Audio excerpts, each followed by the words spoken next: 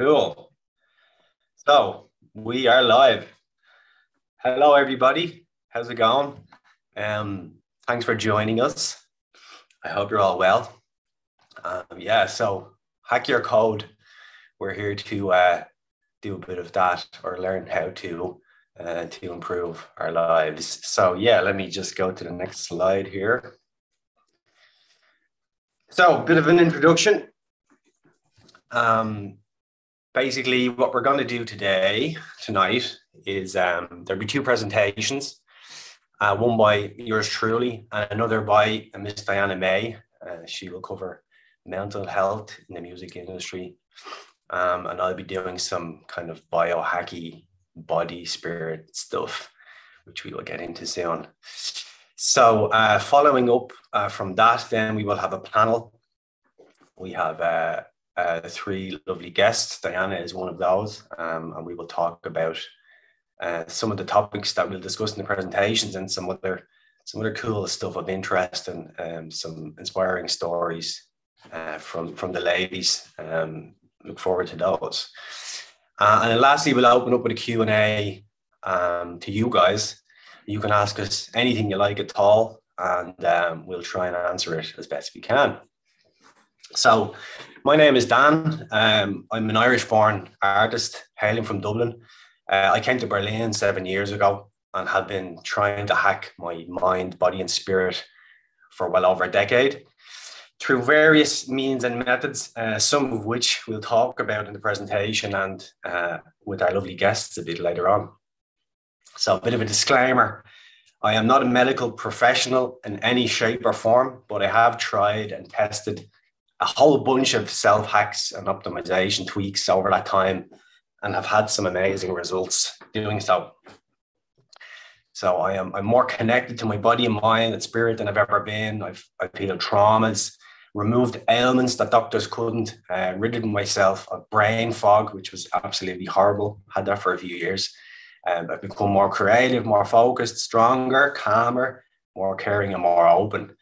Um, I don't mean these as boasting points, um, but simply just a, a statement of truth. Um, my aim here with this presentation is to try to share some of my learnings and hopefully inspire some new ways of thinking and ideally help you become stronger, happier, healthier, and more creative. Uh, with all the stress in today's lifestyles, and external stimuli pulling us away from ourselves, it phones, socials, Netflix. COVID fear uh, is more important than ever to take time uh, to direct it back inwards and reconnect um, with ourselves. Uh, so, yeah, let's go. Um, this, what I'll show you now, is, in my opinion, the, the pyramid of, of well being. So, it's four parts. The first one is sleep. The second one is uh, diet slash fuel. The third one, movement slash exercise. And the fourth one, uh, holistic practices. Um, so, from my experience, these are the things that are mandatory to maintain and uh, put real focus into uh, in order to flourish in life. Um, with the bottom two being uh, really the bread and butter, and the top being the cherries on top. Um, you can survive without C and D at a cost, but you absolutely cannot function properly without A and B.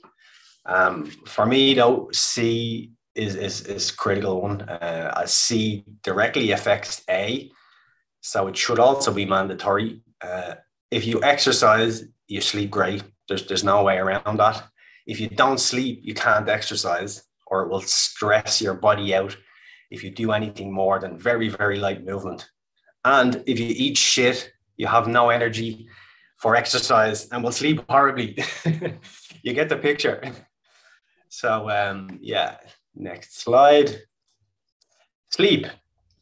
So, um, a couple of points here of do's and don'ts for sleep.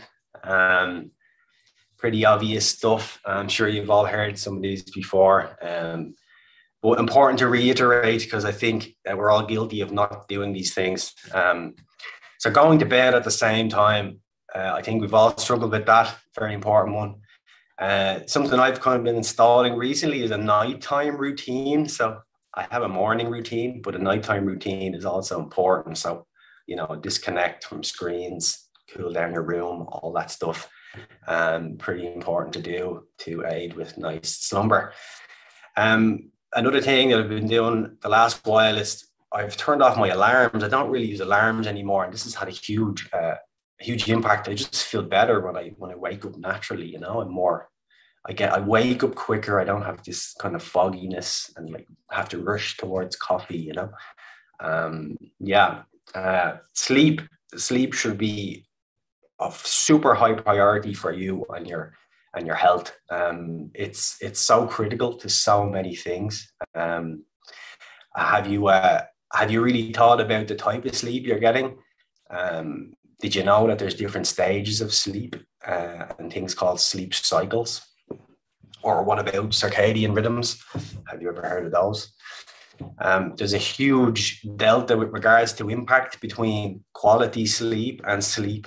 Um, do you wake up feeling refreshed or are you groggy? And as i said you need to reach for coffee you know? Um, these are things to pay attention to you know? If you're groggy you should uh, look into your sleep patterns and tweak what's going on there. Um, generally speaking an adult needs about eight hours of sleep. Um, an ideal sleep pattern is around seven and eight hours seven to eight hours with a, a mid-afternoon nap. Um, something I learned from a book I read this year is we're actually most people are biphasic sleepers. So we're, we're programmed to want sleep twice and this is this is explaining it. So one big sleep and one little sleep you know?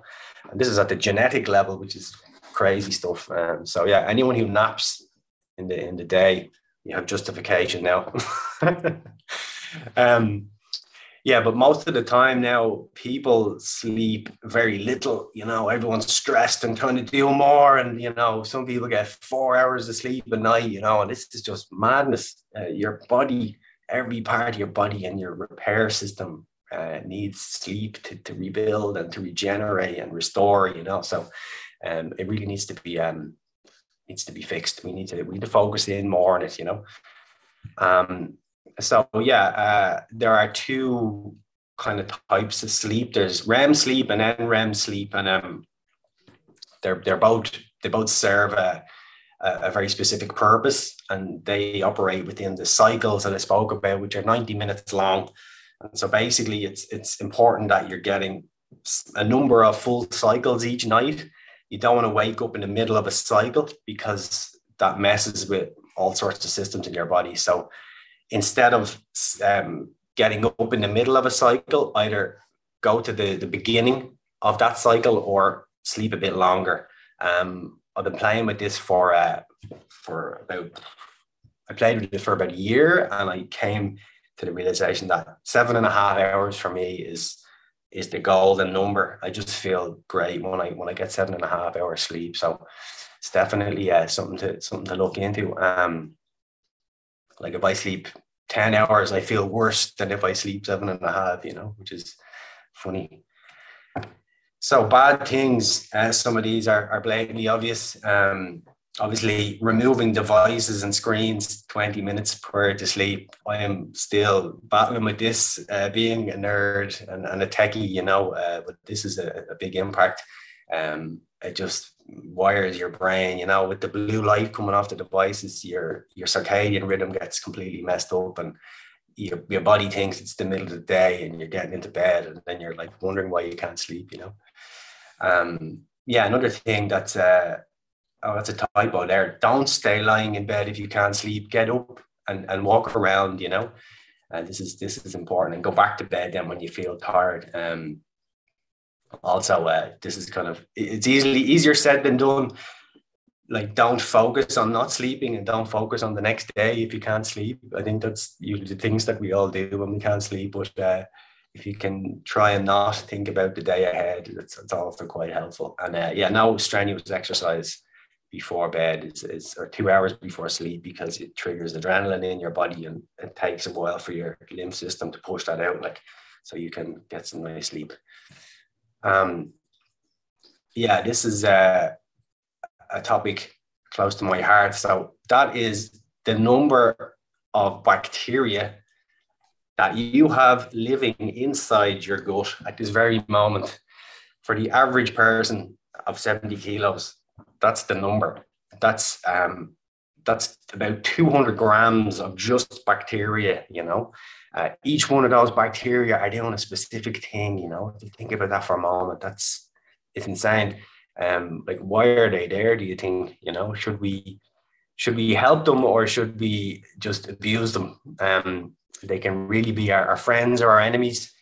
When we give them what they need they do unbelievable things for us uh, and when we don't they really can become a, a, hindrance and you can have all kinds of things. Science is finding uh, all kinds of connections now between the gut and uh, neurodegenerative diseases like schizophrenia um, adhd depression. Um, you know there's, there's, there's a direct connection between the gut and the brain through a thing called the, the vagus nerve. Um, yeah, so it's uh, it, it's really is an important thing to maintain. Um, a story from from me directly why this is so close to my heart. Um, I had knee pain for about five years, um, maybe even longer actually. Uh, and I thought it was from martial arts. I got a kick and my knee kind of came out and went around the side of my leg, and I I thought it was that. But like a year went by and I still had pain, and I was like, what the hell is going on? And uh, yeah, I, I went to all of the doctors, you name it. I went to this, this all the specialists, but I still I still had pain, and they all told me I was fine. And so I kind of just gave up on normal doctors. And uh, I happened upon a, a podcast about um, about uh, the microbiome, and I said, "Oh, I'll give it a go." So I got my gut tested, and um, yeah, I, I followed the, the recommendations. I got some uh, specific supplements of specific type of bacteria. I removed gluten and sugar from my diet and uh, cut down on some other stuff. And um, yeah, my, my pain just vanished, you know. So uh, it's uh, it, it, blew me away. You know, I was so conditioned to the, you know, the doctors are are right. You know, oh, it's just me. I'm, I'm weird. Something's wrong with me. But um, the long and the short of it, love thy gut. So, diet slash fuel. The yays. Get your microbiome tested, guys. Honest to God, I'm shouting this from the rooftops now for a few years. Everyone that knows me knows about the microbiome. it's very important. Um, there's a, a, bunch of different places you can get your gut tested now. You send off a little lovely package of poo and uh, they test it in a lab and they will tell you uh, very specifically what what's going on in your body at this moment in time, um, which is fantastic. Um, so yeah, um, some of these are self-explanatory as well. Um, you know, eat whole foods, um, cook more, this is a very important one. Eat at the same time. I know Miriam, you like this one. Uh, eat at the same time daily. Uh, eat slowly. That's something that I am still trying to learn. Um, and stopping before I'm full. I usually just eat until I'm completely stuffed, you know, and then I wonder why I'm bloated and gassy, you know. Um, but the, these are all things that uh, they're easy enough to tweak, but they have a huge impact on, your body, you know. Um, the uh, like Western diets are destroying destroying our bodies and, and causing disease, uh, which we go to the doctors for, and then they feed us with drugs, which make us more ill over time. Uh, constant band aid after band aid, uh, yeah, it's it's it's kind of silly, you know. Uh, we're very conditioned to just believe what they tell us without question. Um, when the facts are there now that certain things are just not working and, and need to be changed, you know, a couple of examples antidepressants being overprescribed, antibiotics being overprescribed, and just destroying people's uh, gut flora and making uh, resistant strains of bacteria, uh, which is an even bigger problem. Then sedatives being over uh, overprescribed, you know, um, gut medication NSAIDs, which are non-steroidal anti-inflammatory drugs, which is like uh, any anti-inflammatories, ibuprofen and stuff. These things are okay, for a short period of time, but people that are taking them too much and it's really disrupting their, their lovely little bacteria uh, ecosystem. Um, yeah, instead of approaching things from a holistic way, uh, we're told to take the pills, eat eat the fast, easy food, stay sick, uh, and just keep going. Um, you'll be fine. Or we're stamped with a condition, and, and that's it. You know, meds for life, no fix. Um, Western uh, medicine has saved us multiple times from near extinction, but we need a firmware update there, as I've personally witnessed my own and other people's bodies healing themselves fully without medication when the doctor's orders were you must take this or you're screwed.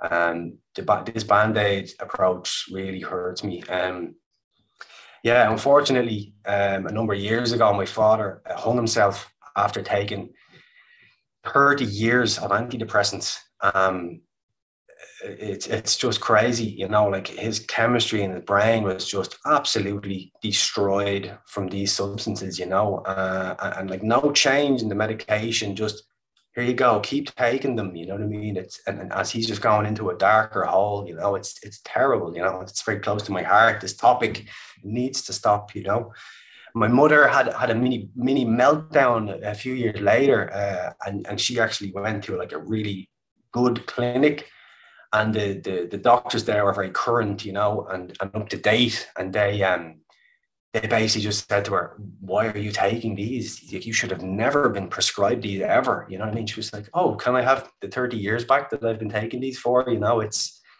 it, it has to stop. It's just it's just awful, you know, and we have to change this. It's really fucking up humans and our, and our brain chemistry. Um, yeah, a little bit of a sensitive one there. um, another thing, yeah, antibiotics. Uh, let me go to the next bit here. Antibiotics, avoid them at all costs unless you're dying and you have to take it for, an, for a bacterial infection do not take antibiotics. Just sit with the infection for a bit. If it's getting worse, uh, you know, after a few days, of course, you know, don't die. But if you can avoid it, do not take antibiotics. This is a, a huge one. And these are broad spectrum nuclear bombs for your gut. They just kill everything, including all the good bacteria, which can take months, years, even, even longer if you've had multiple courses of antibiotics, which some people have have had, you know, and your gut is responsible for all your immunity. So yeah, you you, you get my point. Um, and uh, another interesting thing I found out recently, do you know how much um, nutritional information is taught to doctors in medicine? This much. Zero. They get no nutritional uh, training whatsoever. They do not know the difference between calories. It's all the same to them. Calorie is a calorie. This is mind blowing for me. I cannot believe it. Um, it's beyond done. Uh, yeah, so the nay section, obviously straightforward enough. Um, processed packaged foods are bad for you. Don't eat them. Um, don't eat before bed. Your digestive system needs energy and needs space before it goes into sleep. So give it the space.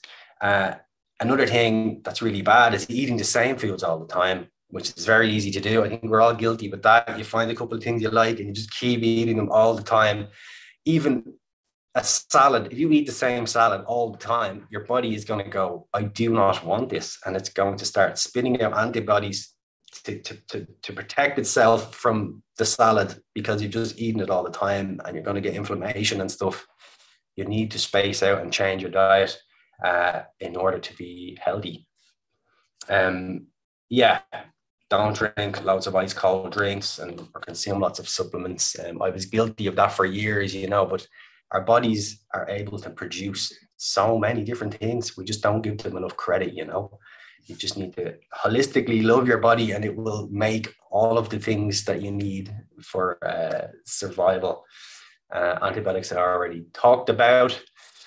Yeah so this is another really important one for me. Um, movement and exercise you know i think we're a lot of people are can be very very stagnant you know or stationary and um, in terms of uh, uh, your your life energy, you know, um, you you want to be moving your body. You know, you want to have a practice where you're moving your body and generating energy. You know, um, and uh, yeah, it, it's it can be if you've never done it, if you're, if you're not used to exercising, you know, it can be a bit of a daunting task. Or where do I start, or how do I do it? But it's you know, if you just start small figure out what you want to do. If it's like a, a weight that you want to hit, or you want to whatever, be able to do five pull-ups, etc. You know, set a little a little goal for yourself, you know, and and, stick with it. But make it really crystal clear and, and give yourself like a timeline, you know, so you kind of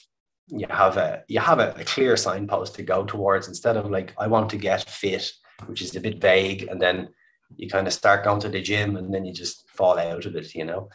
Um, and also another thing, the last couple of years I've learned is exercising a little, a lot is better than doing a whole shit ton uh, a little, you know, and just being really tired for the rest of the week. Um, but yeah, start small, build the intensity, and as time goes on, and play. You know, make make it fun. Don't make it this painful thing that you have to do in order to be healthy. You know, it's fun to move your body. You know, you just have to get into it. Um, a very important thing uh, worth mentioning uh, is there's this thing called the lymph system, which some of you might know. Uh, it's basically like our plumbing system, recycling waste and removing it from our bodies. Uh, essentially, is, is what it does. Um, and it's the least understood and most undervalued of all the body systems. Um, yeah, if it stops working, we die in 24 to 48 hours and uh, it's twice as big as the circulatory system. Um, there are two times more uh, lymph vessels than there are blood vessels. Crazy stuff, and uh, important to mention, and why it's tied into movement is the lymph system, unlike the circulatory system, it relies on breathing, on gravity, and movement. So if you're not moving and breathing properly, it basically gets backed up and you have all this sludge moving around your lymph system and you're going to feel tired and yeah you get the idea.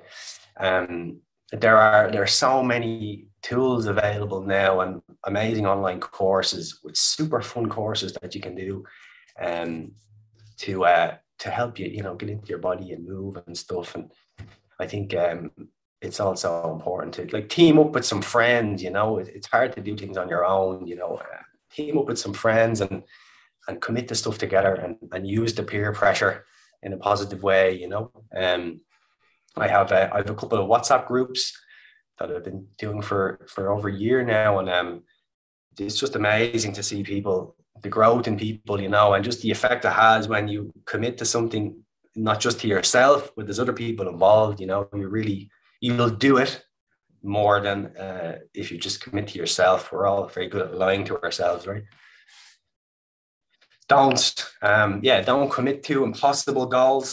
and um, don't give up when it gets hard or or you don't see results immediately. Um, don't uh, do the same things and expect different results. Um, very important. Don't overtrain. I did that for a long time. It's not fun for your body.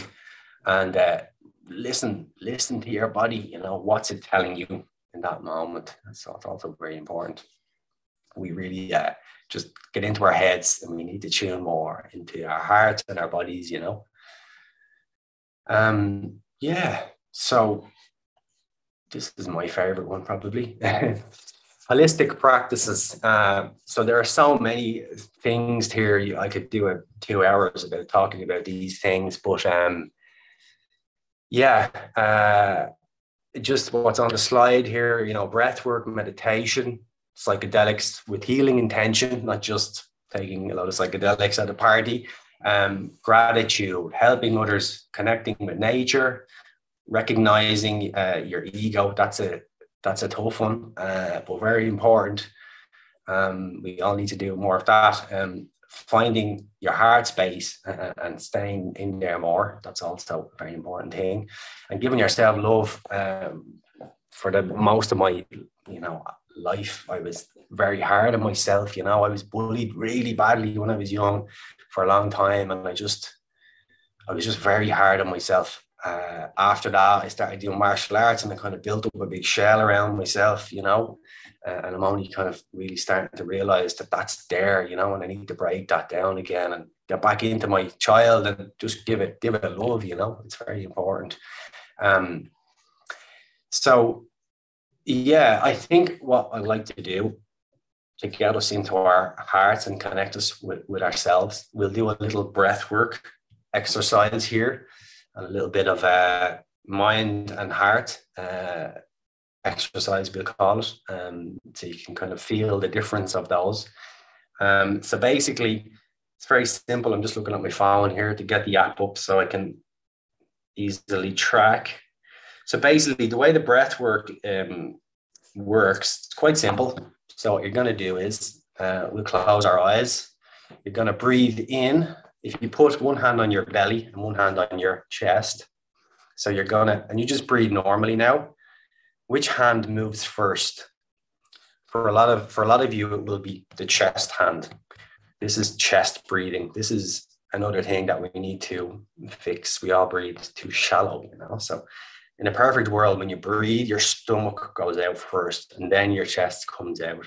So for this exercise, what you're doing is you're basically, we're going to take in 30 breaths, big deep breaths in, and then you're just letting it out. So I'll, I'll demonstrate what it's like. So you're basically just going.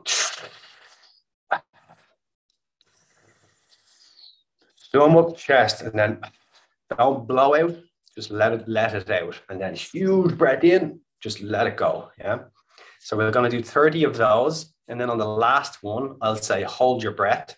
Take take the big breath in, hold, and then when I say release, release, and then don't breathe in again.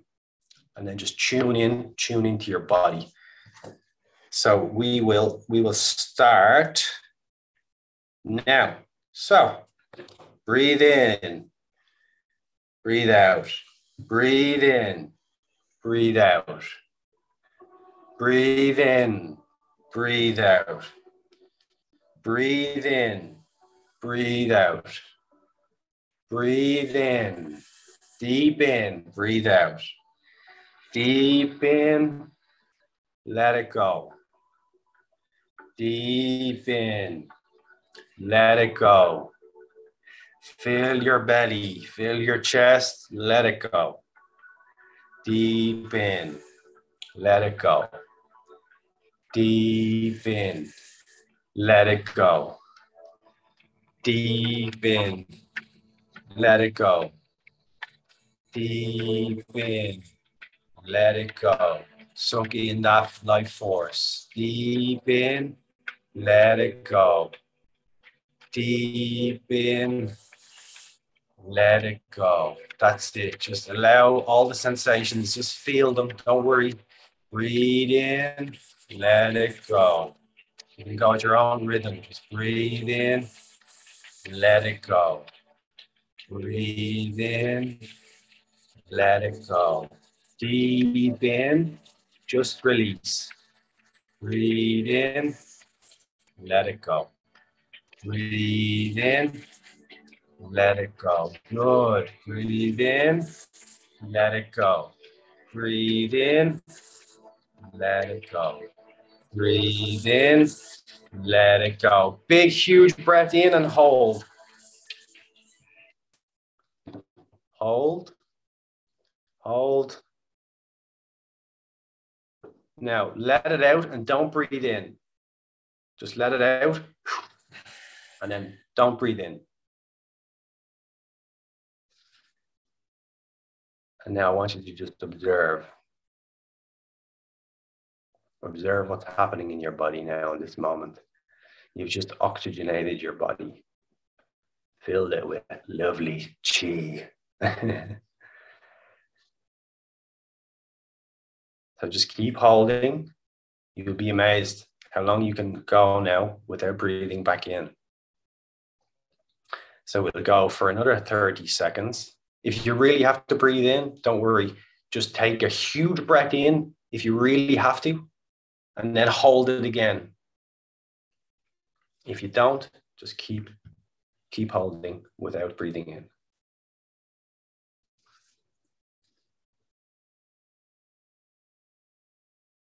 Okay, breathe in, huge breath in. Hold. Hold for 15 seconds now.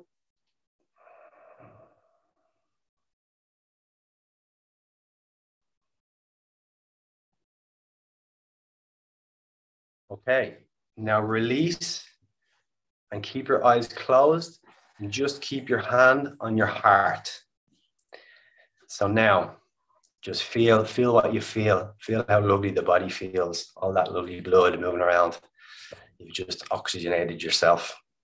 So what I want you to think about now, think about somebody or something that you're extremely passionate about that means the world to you.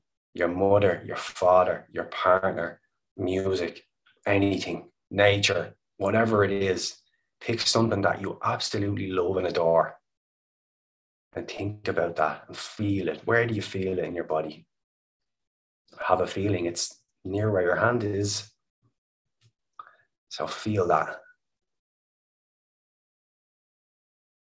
That's your heart space. That's the, the, the magic place where we uh, where we forget to visit. it's a very important place to tune into. So now keep your eyes closed. What I want you to do is I want you to think of the number two. Now I want you to think of adding the number five to that. Now I want you to think of adding five to that again. Now I want you to add two. And now divide that by two. Notice where, where the focus is now, how it's shifted. You're now in your brain. and so this is where where uh, all of our critical thinking happens and where our, our egos kind of live, you know that was just a little a little exercise. Uh, I hope you enjoyed it. I hope you feel nice. Um, but uh, that is um, uh, very powerful stuff to do um, on a daily basis. Breath work. Um, if you have a morning routine, I, I, can't recommend it enough. I know I think maybe Diana's going to talk about routines, so I won't do that. But uh, yeah, I mean, that's kind of that there. I could go on and on and on about about this stuff, but uh, I won't. So, in summary, be good to yourself. Try new things and have fun. Um, consume proper fuel, very important. Look after your gut. Um, move, baby. You know, get that body moving, get the juices flowing, get sweaty. Uh, whatever it is, sex, have a load of sex. If you're not big into exercise, just exercise yourself until you're sweating. And that's fantastic as well. um, make your sleep a high priority, very crucial, really crucial. Um, it's very, very, very, very, very important. Uh, and find ways to connect more with your heart space. Um, the, the creativity uh, and, and flow states, they cannot occur unless we are in a balanced energy space. It's really that simple, you know. Um, life will be a struggle unless we pay attention to these four things um, and, and give them what they need, you know. Um, so, yeah, thank you for listening. It's actually a bit longer than I thought. Um, I hope it wasn't boring. Um, yeah, you can find me at the links here. Um, please reach out to me if you have any questions or you know i'd be very happy to help you out you know uh, that's why i'm here. Um i want to help you so let me know what you need. Um please follow us fieldsconspiracy.com and uh, subscribe to the mailing list on the website.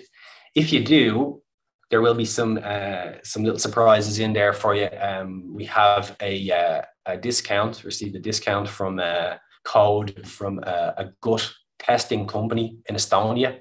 Um, so yeah, if you just subscribe to the mailing list, you will get that. Uh, and uh, keep an eye on the blog on the website. We'll do a follow up to this um, workshop, and we uh, we will put in like a whole bunch of links and books and forums and things that are uh, point you into the, the right direction for healing. You know. so yeah, um, that is me. That's me done. Thanks very much, and uh, see you soon. Bye bye. So Diana, you are up next.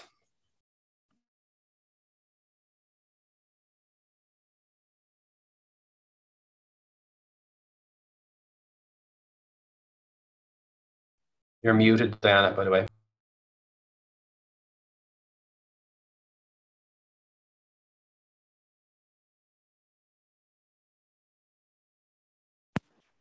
So, can you hear me now? Hello, everyone. My name is uh, Diana.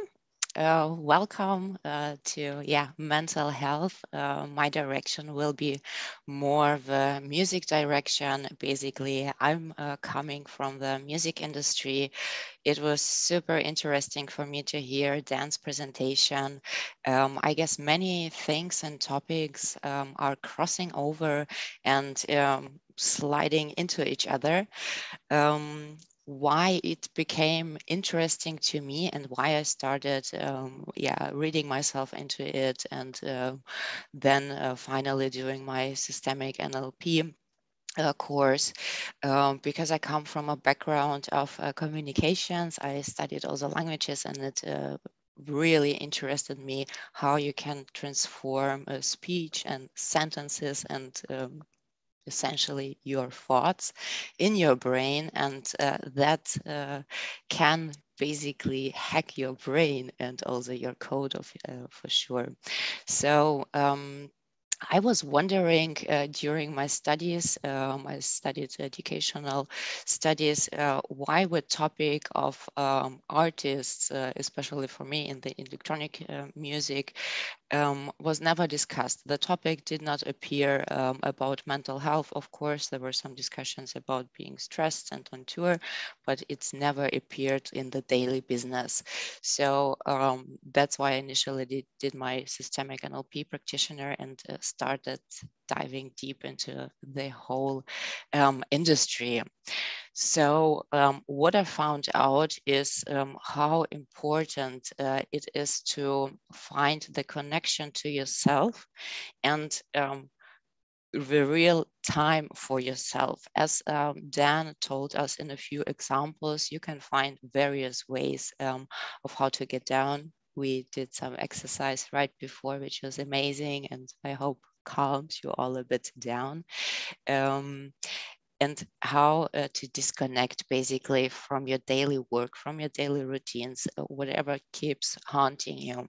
So during my um, coachings um, as an artist coach and uh, also DJ uh, coach during talks with other artists and uh, people who are in the industry, um, I saw that there are some problems uh, that surround the scene, which are basically being always reachable um, 24 7 on the run.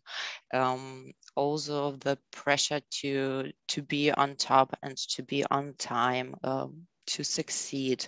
Um, how uh, do you divide the personal life from your artistic expression as whoever you are, painter, artist, teacher, producer, as Dan here, um, or poet as uh, Daisy here. So um, yeah, fulfillment, also sleep deprivation, as we heard uh, from Jen, and super important topic um, on which I also could uh, talk for hours. Um, yeah, and all of that uh, leading to depression. So that's why um, this um, theme and this um, area was so important to me. Um, we usually take everything, all the thoughts and all the problems that surround us the whole day during work and uh, during our um, artistic expression, and also take them into our personal life, into our little shell that we are, and they all are individuals, and take things uh, differently. So, um, what I try to um, do in my coachings is to see you personally as the expert in your life. Um, what does it mean for me? Um, we all um, have a certain small, maybe genetic information, but we are humans and we are made to learn, we are made to adapt to different situations. So um, you adapted to some methods, some uh, trainings that you did, um, some things that you just naturally do uh, because you saw some there an example or uh, you thought that this will be beneficial to you. Um, and we humans, we kind of stick to the things because it's comfortable and then our brain don't have, uh, don't has to um, work and burn energy and, and, they have to eat and so on. But uh, we stay true to these methods and um, theory and methods that they really make up. Um, yeah, so telling you that uh, we are still made to change when we leave our little small um, comfort zone, the methods that they use to um, to do, the paths that they used to go, when they go outside of this box, um, a whole new world opens for you, and then you will find really the power, uh, the amazing power to basically achieve everything. As soon as you realize that you have a power within you to just step outside of your um, little paths, methods, whatever you call it, and um, to start slowly, maybe questioning yourself, oh, is it really the way that I'm doing it? Is it really me? Maybe it's an example that I took from someone, or um, there was a situation and I learned that behavior and kind of stuck to it. Is it still beneficial to me? This is a super important point and this demands me time.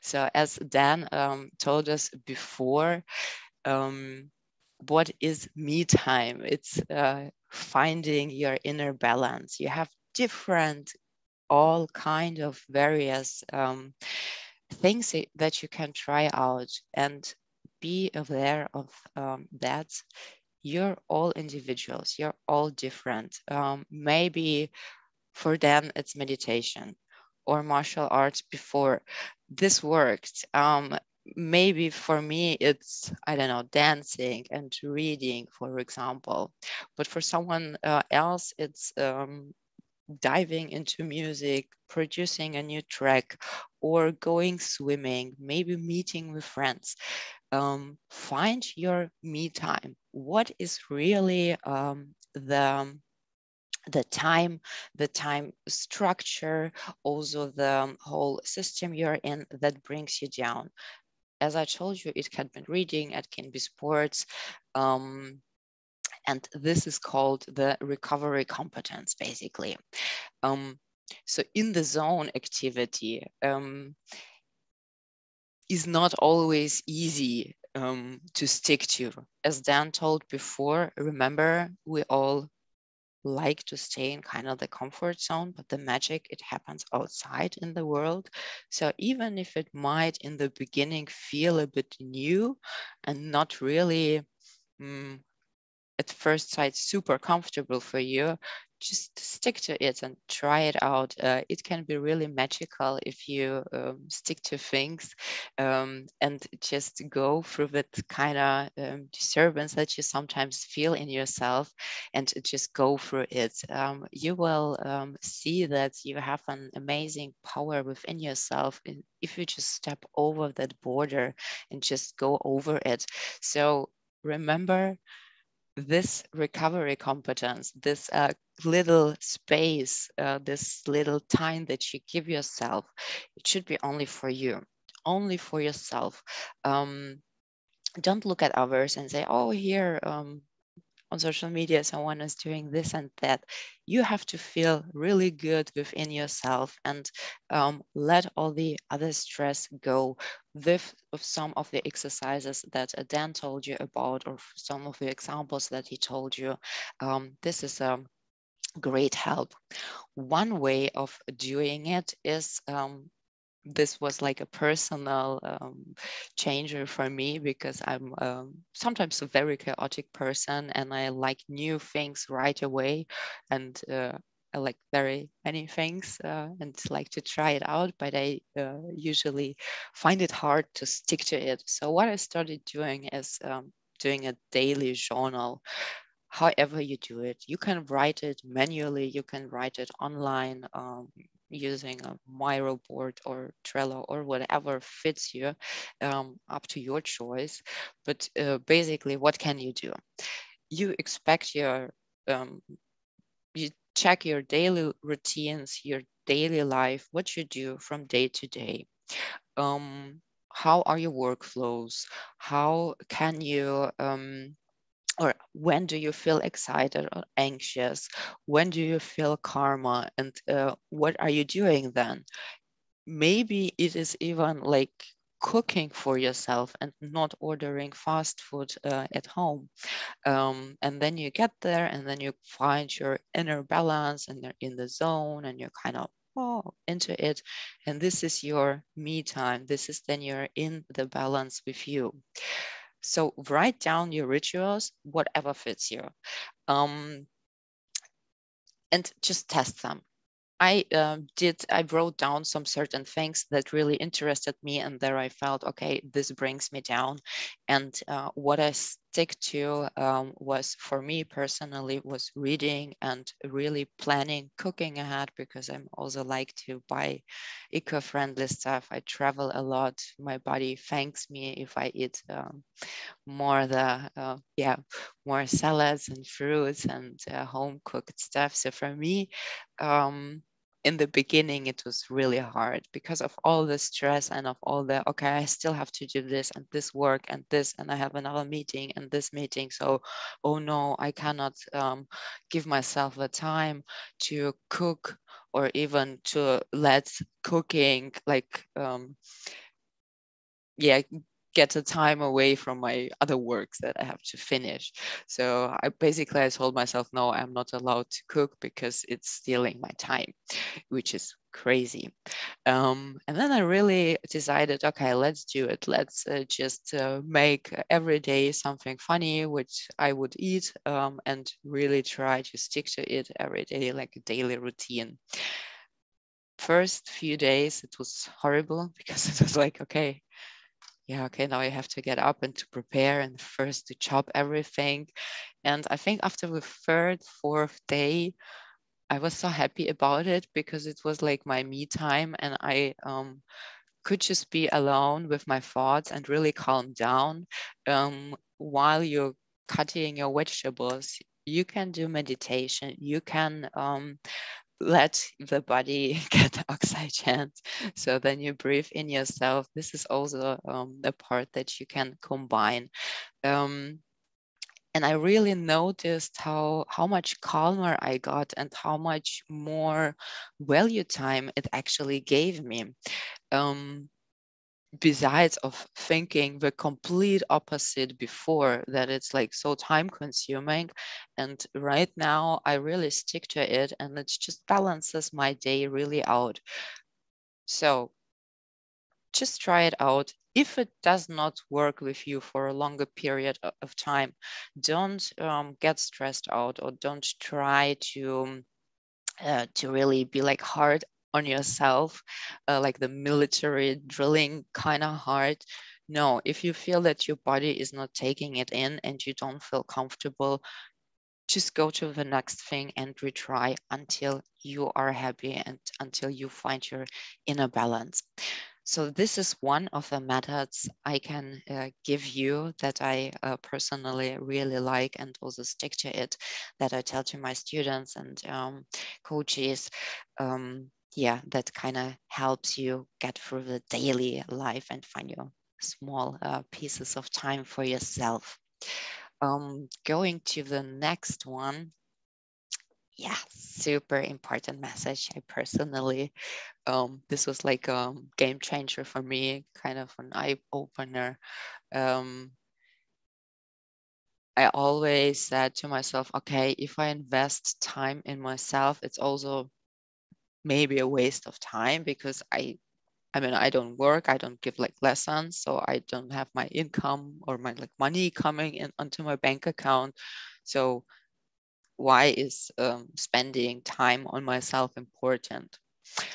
And then I kind of kept rethinking, uh, read a lot of uh, books, podcasts about um, yeah yourself and what is value basically. How do you define your own value? Um, what is value for yourself personally? Um, and um, if you decide to take the time into yourself, how is it gonna benefit uh, yourself?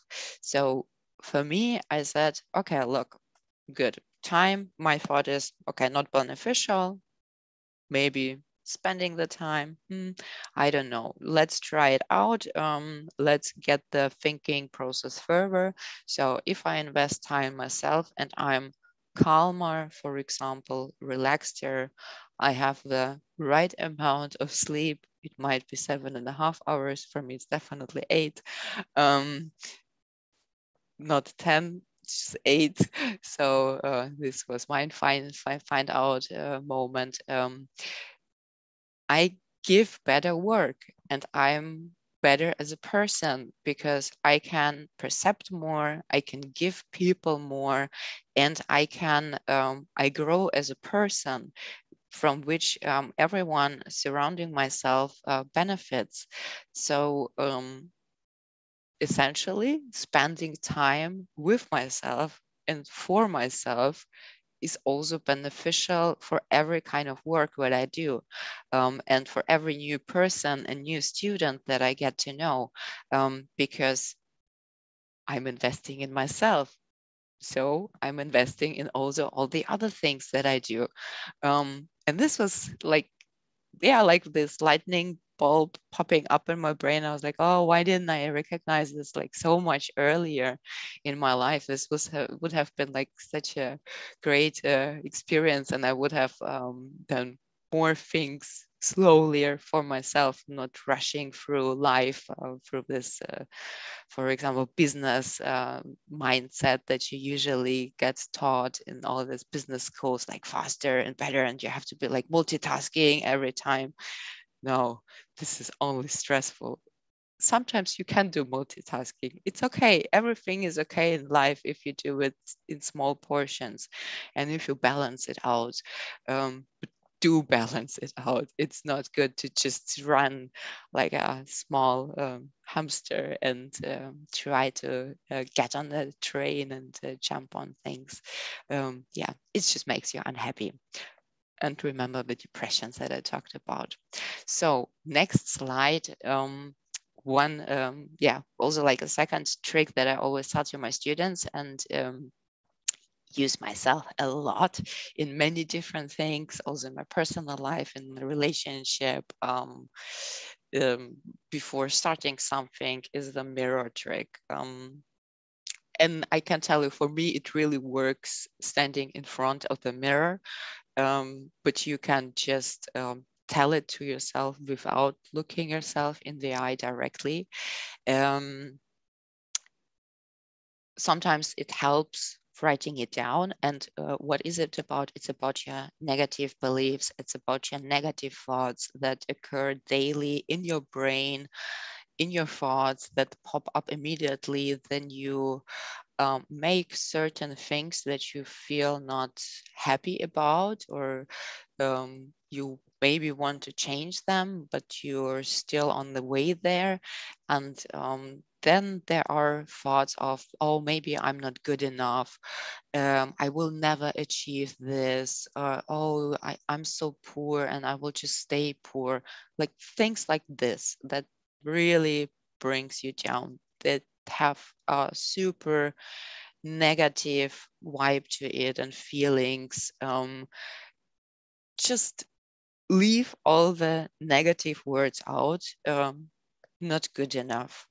Um, will not achieve something and change it into as an example on my slide um, from I'm not a good producer, I want to use my whole potential to become a good producer just repeat the words for yourself.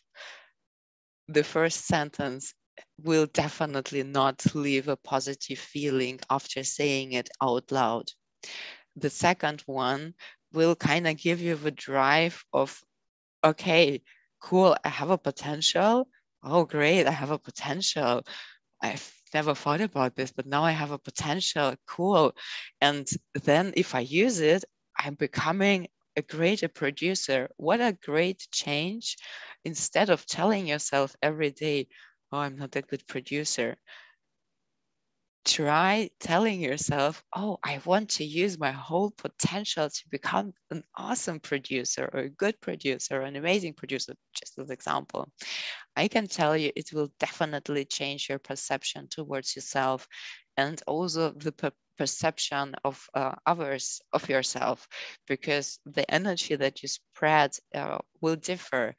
It's um, it's a ripple effect also. If you throw a stone into, um, sea or water or something, you will see the circle spreading. So if you changing your attitude towards yourself and your negative thoughts into something positive, will um, it will lighten the room. It will spread like the water like a ripple effect um, if a stone that you throw into the sea. So try it really at home.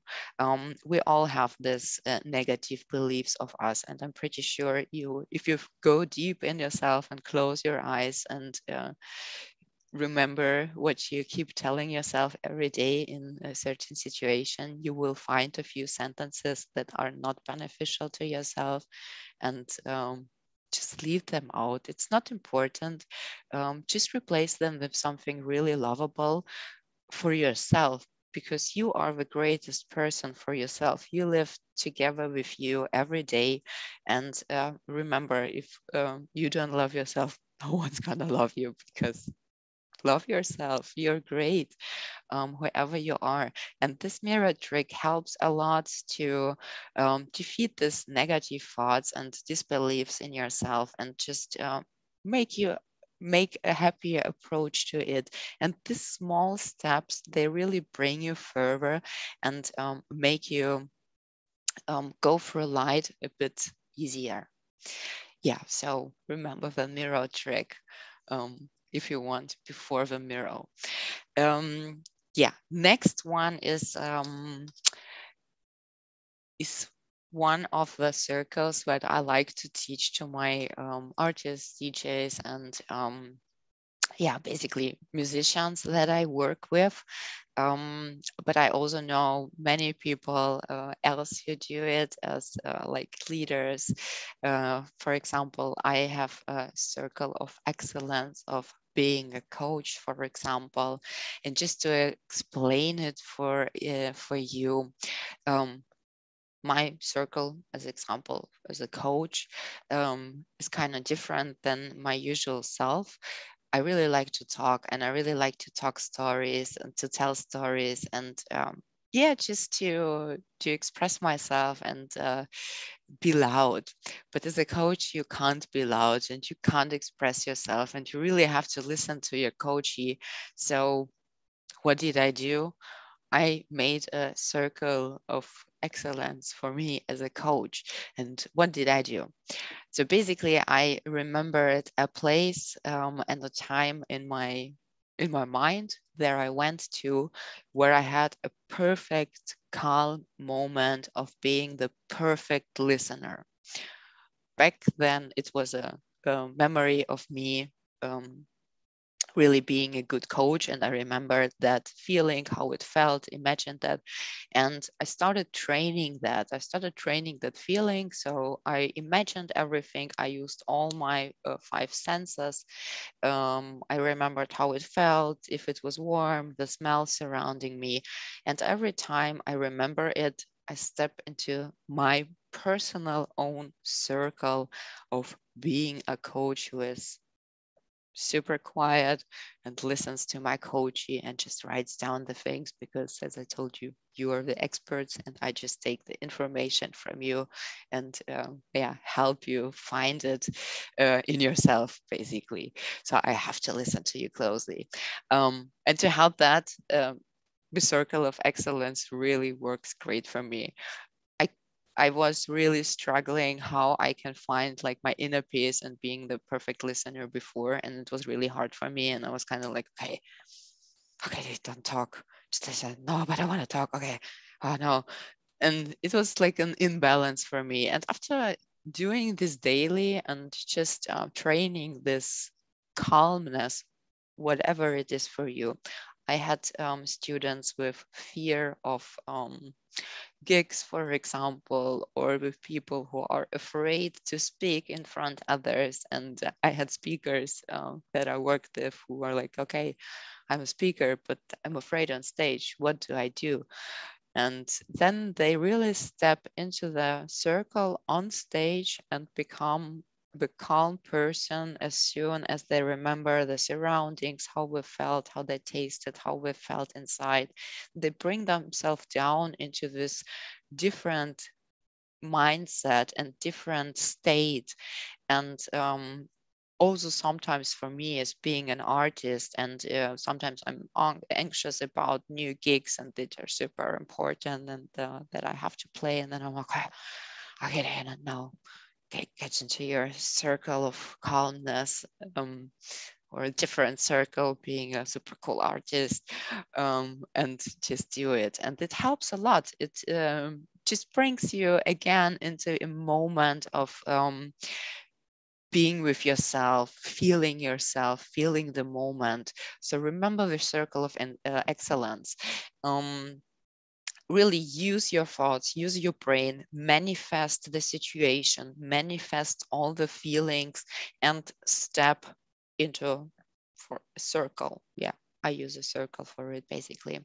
So manifest it, write it down, and important, repeat it really daily. Um, it has to manifest in your brain, and then you will um, dive in way, way easier than you uh, used before in, at the first time, for example. Um, it's just routine, building up routine, making for your brains new ways to cross and um, yeah, to go in different directions, also brightening your vision, which is super fun.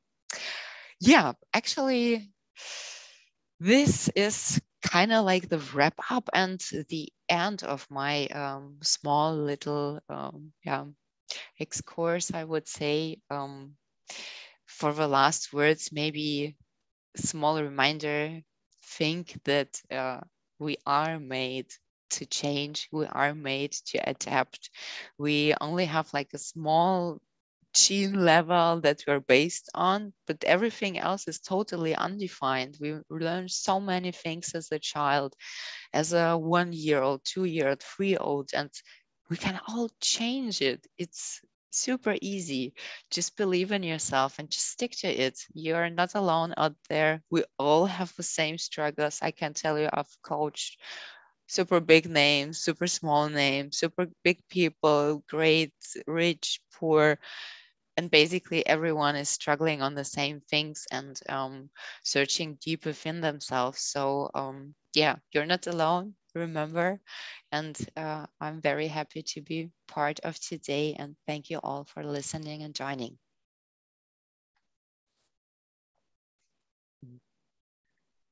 Ooh, nice one diana. Thanks. Thank you. enjoyed that.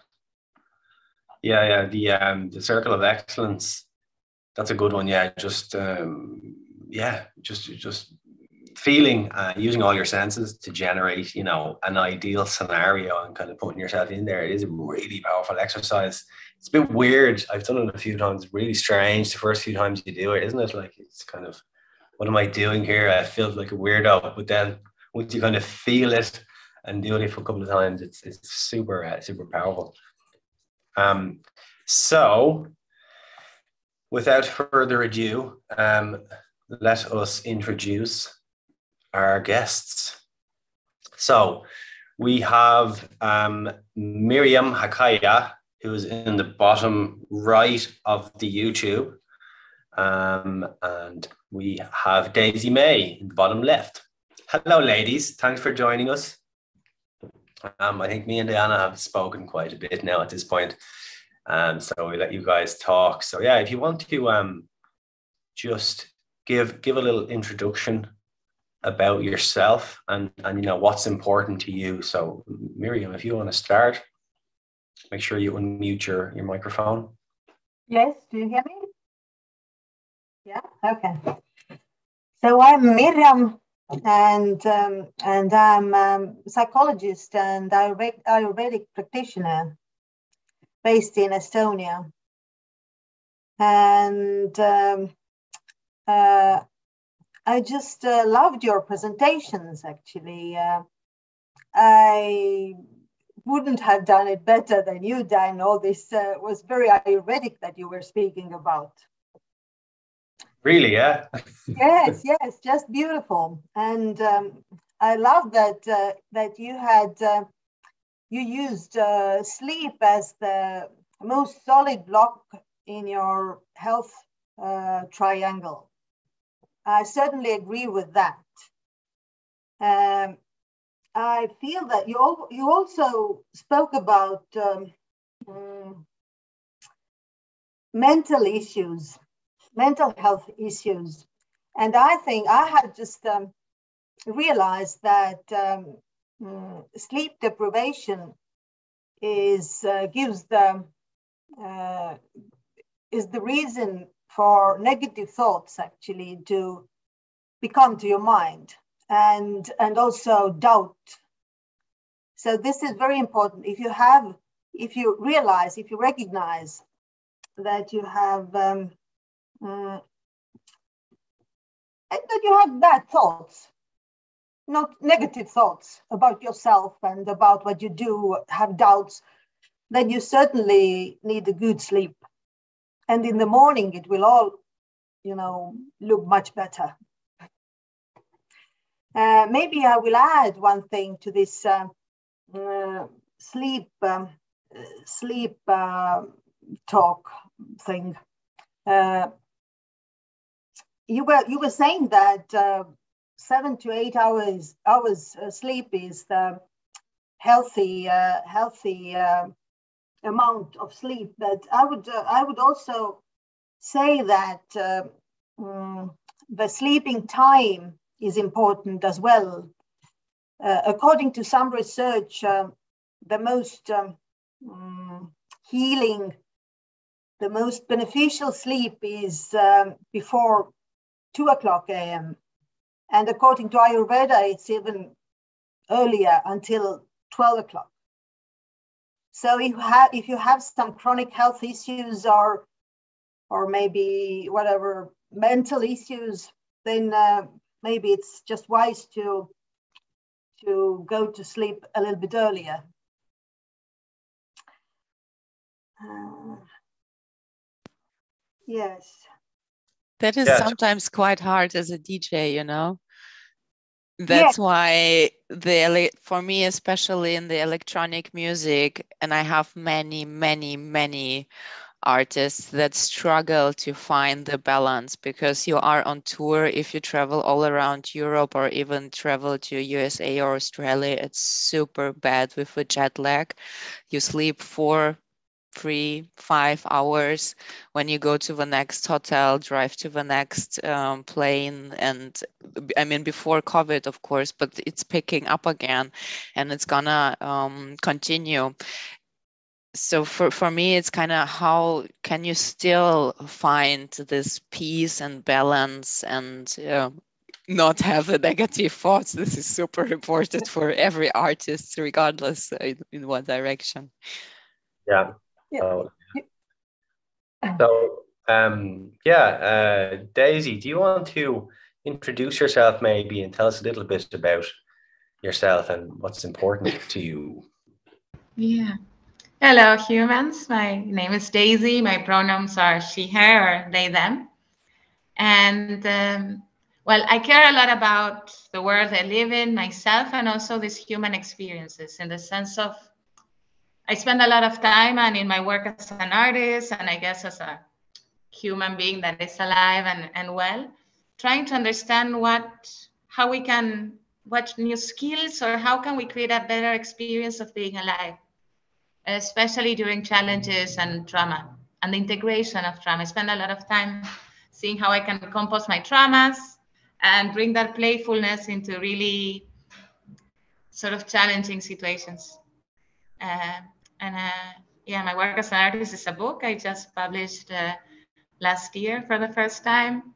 And I make immersive theater, some clownings, and a bit of workshop. But all I like working with the human heart and seeing how we can make a, this wholesome ecosystem inside uh, to relate better to the world and to others. So, yeah, that's a bit about uh, me. Thank you. Nice one. Um, I have another question for you, uh, Daisy. What, what is, what does creative resilience mean to you? I know we spoke Thank a little you. bit. Um, this is why I'm asking.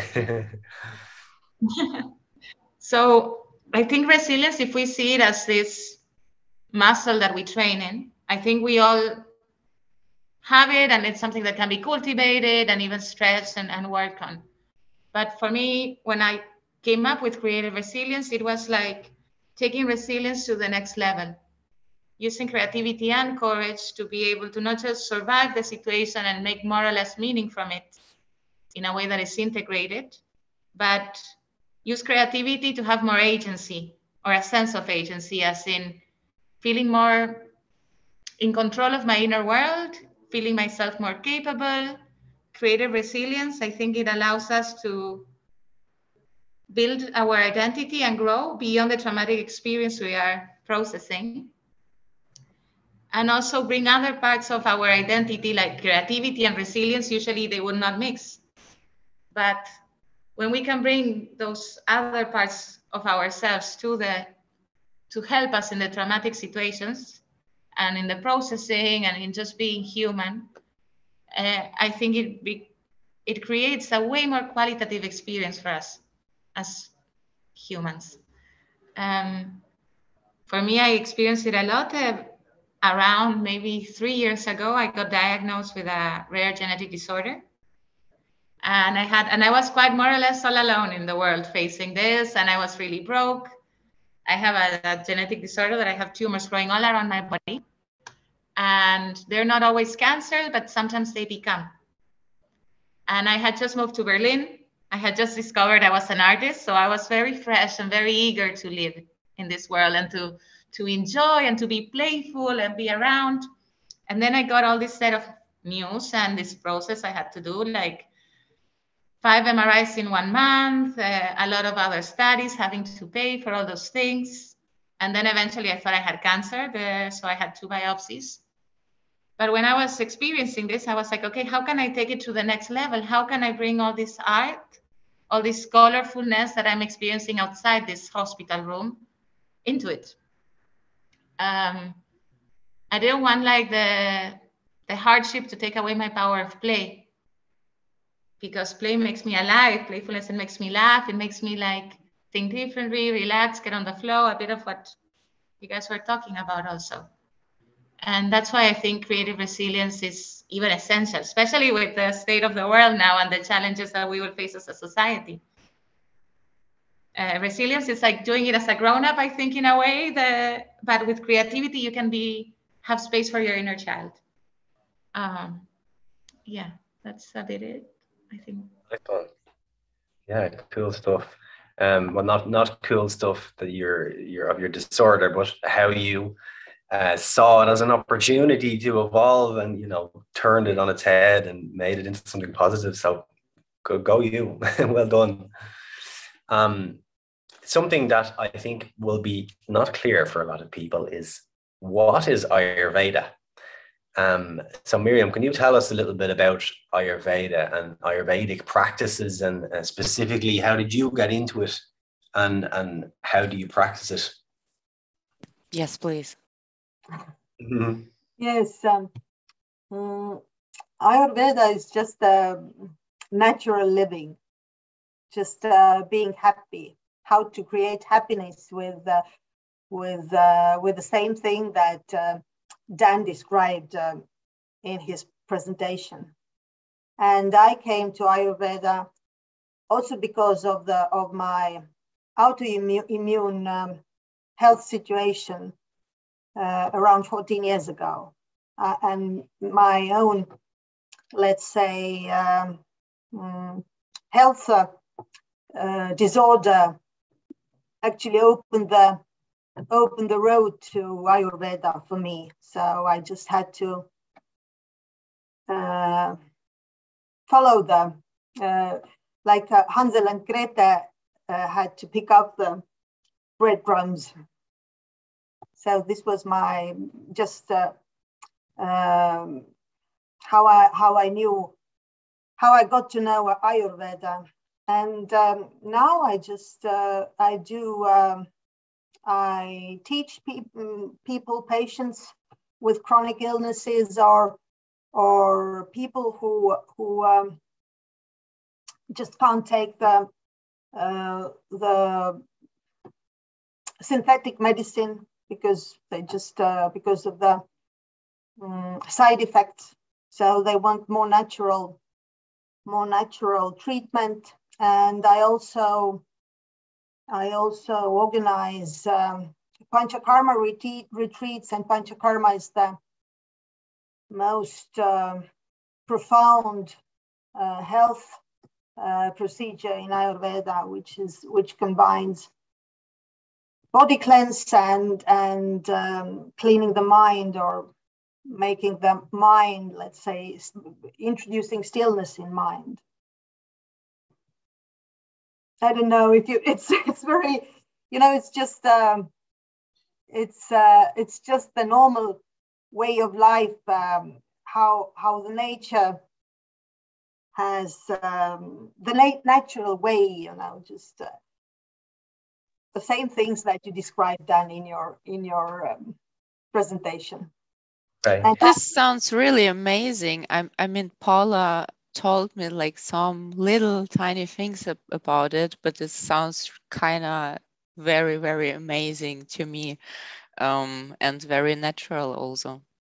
Yeah, I just wanted to to say to you, Diana, that um, when you are struggling, you know, and that the creative people are struggling with uh, with um, let's say healthy routines, you know, it's uh, it's just um, like a Pareto principle applies everywhere. At, at, least when you when you try to do your best, um, 80 or 70 percent uh, of the time, then your body can uh, can deal with uh, with uh, with flipping. You know these 20, 30 percent things. So this is uh, the the. Um, black and white thinking is not um, healthy. Just the middle way thinking uh, is more loving to yourself. Balance. Balance. Yeah. Thank you. Thank you. That is super interesting. Yeah, I noticed that for myself because I was partying and living the artist life a lot. and I got older and older and it got worse. Uh, and uh, yeah, finding all these balances and really how to compensate this parties and nights out and sleep deprivation. Uh, so for me, for me personally, I find out that uh, of course I can do it and I can do it to a certain amount if I live the 70 80 or 90% of my other life um, accordingly to what is beneficial to myself and my mindset. Um, but that is a long journey. Yeah. And maybe there is a candy when you go to sleep early as you will have the access mm-hmm. to that very creative time very early in the morning which is amazing time actually. Oh, candy is the best idea ever. I will try that Nice one. Um, for you, Diana, um, uh, in your opinion, what has been the biggest resistance to change that you've noticed amongst artists? Um, which habits are the hardest ones to break? Oh, this is a hard one actually, because there are so many different things um, happening, but um, so many different topics popping popping up but um, basically i would um, summarize it. It's it's basically loving yourself and giving yourself the time because um, the biggest challenge that I get from my students and from my coaches is uh, the constant um, question mark Am I good enough? Am I um, fast enough on time? Am I delivering um, good enough things? So they're always kind of jumping to new things and just moving, moving, moving, and doing and doing and playing and playing. And from resulting from all this, you're completely forgetting yourself and you don't go back to this moments of really listening to your body and even recognizing is it a flu that I have? Is it just a simple nose running? People don't even recognize this anymore. They just go to the doctor and I'm just kind of sick or I feel bad or I feel depressed. Um, they don't even separate um, between their feelings that much because they're so overwhelmed that hamster um, circle, Hamsterrad is in German. Um, that's basically the self-love that I see as a main problem and that I try to teach them and say, hey, first you have to listen to yourself and really take the time for yourself and uh, see it as a value and see it as an investment into yourself.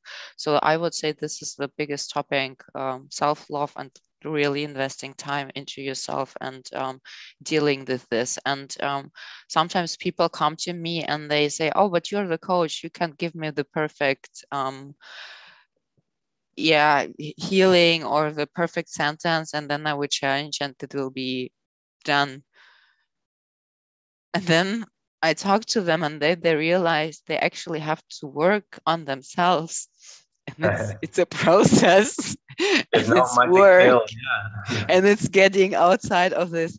I'm feeling so good and so lazy and now i have to move out of this. It's like getting out of a warm uh, bed or like of a nice uh, bathtub or like eating something and not wanting to stop. It's like a similar feeling. You know it's good. It might not be beneficial to you but you don't want to stop because it's good. Um, so people also get get stuck in uncomfort zones as well, right? Yes. Uh, yes. Also another problem, you know, um, self blaming and all that. Mm-hmm. Um, Daisy, uh, you you've had phenomenal. Um, you have phenomenal resilience, you know, and we spoke a bit last week. You know, your story was pretty pretty uh, mind blowing. You know, um, you know what what what would be some of the key things that you kind of realize, you know, for anyone who's kind of self-loathing or, or blaming themselves, you know, or in this kind of spiral, you know, from, from your experiences? Mm. Thank you for the question. So I think that first thing when you are when we are experiencing all this like self-loathing and and like just is to compost you know we how we separate the trash it's being able to sit knowing you're going to get dirty with yourself. We can always shower afterwards but have the willingness to to sit and like first separate what is going on. Be able to see the parts you can recycle then the parts that you can reuse just with a small wash and which parts go to compost so compost. So then they can be with some shit with some greens we let it be until it doesn't smell anymore and it can be fertilized. But also in resilience, I think there's a, a few keys. For me, the, the power of storytelling in the sense that inside ourselves, we have our own mythology and our own symbology in the sense of what makes meaning and where we are within our own story. And we are also the, the script writers of our lives yes, things happen, but we can get really the power and the agency to say, like, okay, I decide the meaning that this will have to me, and I can also, from that, decide how I show up.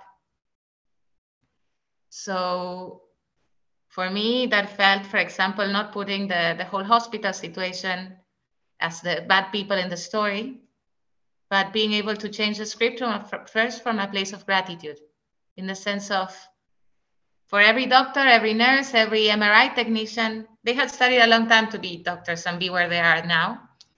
They also sacrificed a lot of things to be able to have the right tools with the right knowledge and the right experience to be able to help me. And behind them, I would always think there's a legacy of thousands of human beings that have the, you know, very the same body functions as me and the same but different desires and dedicated their lives to help others. So already that sort of situation with the like hospitals and studies and all those interactions, I could, when changing the story, I could open things for to connect to connect. I think looking for ways to find connections through changing the story and the narratives, it's it's a hinge, like the it allows the windows to open. Uh, yeah. And also something that was super important and that saved me in a way, I think was that I made a non-negotiable that playtime and like my art, which is my medium of expression, uh, were never taken away. I went dressed up as a witch to the German doctors. I had named one of the tumors Darth Vader because they had gone to the dark side. And every week I would take myself two hours for like a daisy date that then I found out their artist way uh, through a book. And I would just spend time with myself and whatever happened, being able to meet myself outside the current situation that was drowning me or teaching me how to swim uh, was essential. It reminds me that I'm more than the pain I'm experiencing. It reminds me that I'm powerful and that there's beauty and life and a different air to breathe. Um, yeah, and not losing the sense of humor. I think uh, maybe you need a split, maybe you need breath work, but like uh, don't lose the the sense of humor because that's also laughing is nice while yeah. accepting the situation, right? But um, yeah. Yeah, so the, like some things like if you don't laugh, you'll cry. You know what I mean? And laughing's better, so do the laughing. and cry and laugh, but like surrendering, I think is being able to accept whatever is in here in our chest with our emotions and making a very delicious fruit salad with it and making the best of what we can. Um, life is going to happen anyway. We might as well make it something beautiful that can nurture yeah. us and enable us. Mm-hmm. You uh, you mentioned your book there. Like, tell, tell us a bit how how did you end up deciding to write a book, and you know what what inspired that, and how was the journey like? And congratulations, by the way. Thank you. Um, so I started right. I I was raised in a super traumatic house. I think I would have gotten like a bingo of abuses, more or less. So I escaped when I was uh, around 21. First, I actually tried to become a nun in the Christian church, so be able to get out of my house. Then that didn't work out, and I sort of left very raw and very, very yeah, very small, very young and very naive and very hurting to the world. And I sort of had to learn how to raise myself again, and at the same time be raised by the world and all these exposures that I was or all these things that I was being exposed to. And I started writing poems that would anchor me. I used to pray to Jesus before and I missed the prayer. So I just decided to make my own prayers. And those poems started accumulating. When I was afraid, I had this poem about going to the sea and this unknown that I would repeat to myself. When I was feeling anxious or scared, I would repeat these other poems and I started creating my own mantras.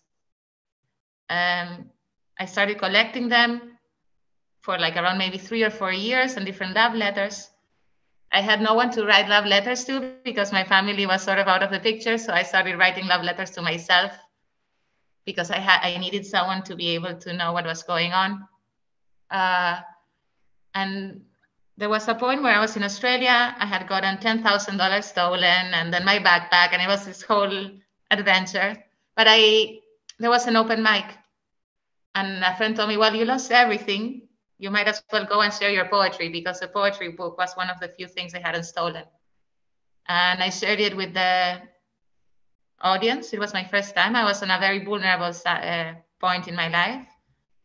But it was, um, there was a lot of resonance with the poems I shared. And then I saw the beauty in being able to connect through the poetries and this intimacy that I had been experiencing with myself was also reflected in the universal stories that us as humans experience in a point or another. Um, and then I got to Berlin. I, I thought I was an artist, or, or, I realized I was an artist. And I tried to launch the book.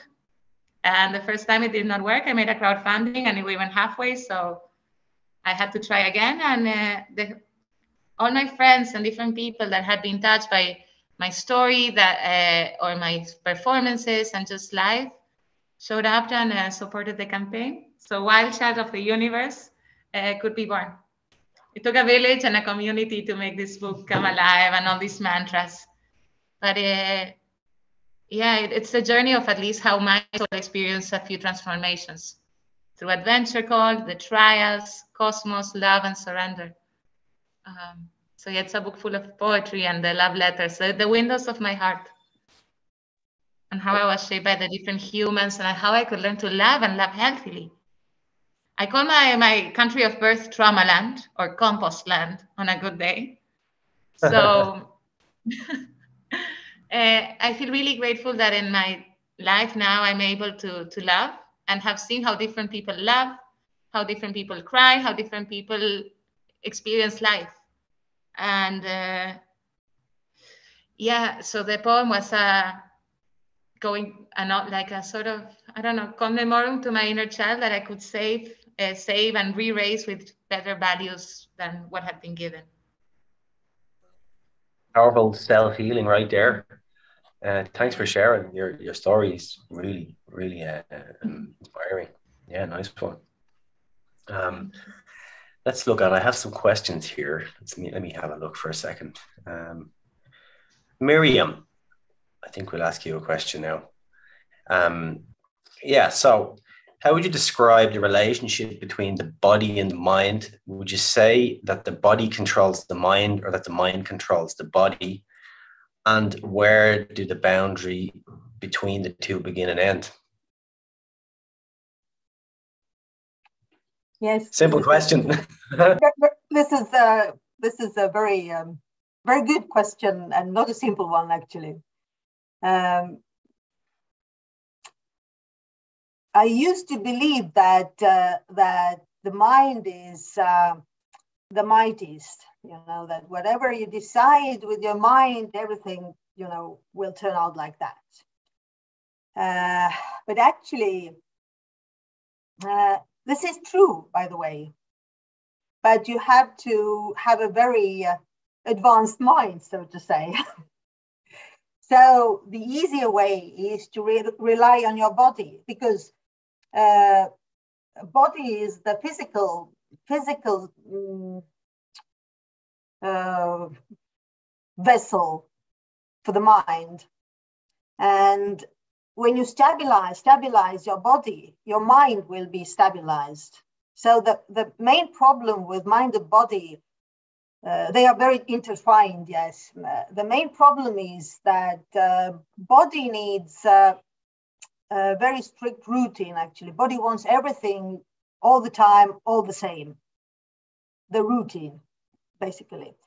But mind wants uh, novelty, you know, new things, uh, and mind easily just um, gets tired and and turns to the uh, where, where, to the direction where where the stimuli stimuli come you know where there is dopamine yes more you know light or more loud uh, um, sound so this is just um, mm, mind's way uh, to be very alert, you know.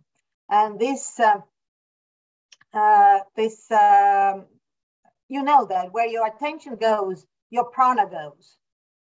Your uh, prana is the life force, actually, and and body works very hard every day to keep the stability, to keep the prana uh, the stamina within your body. And then when um, when uh, the stimuli comes from somewhere, you know, when the mind goes away from the body, then body gets anxious, you know. The body gets um, um, loses the uh, yeah the, the the strength or yeah the, the, gets anxious basically. So our work you know to uh, to keep the good health or to build a good health is is to stabilize the body and to stabilize the mind. To keep the body the routine and to keep the mind the peace. So this is the key to the good health basically happiness and and uh, uh, let's say creativity that uh, creating love and creativity that makes the world a better place for everyone, you know. Because creativity, I think that creativity can also be like excrements, you know, that just just you get everything bad out of you. But I would say that this uh, divine creativity is something that makes the world better and everybody more peaceful and calm and happy.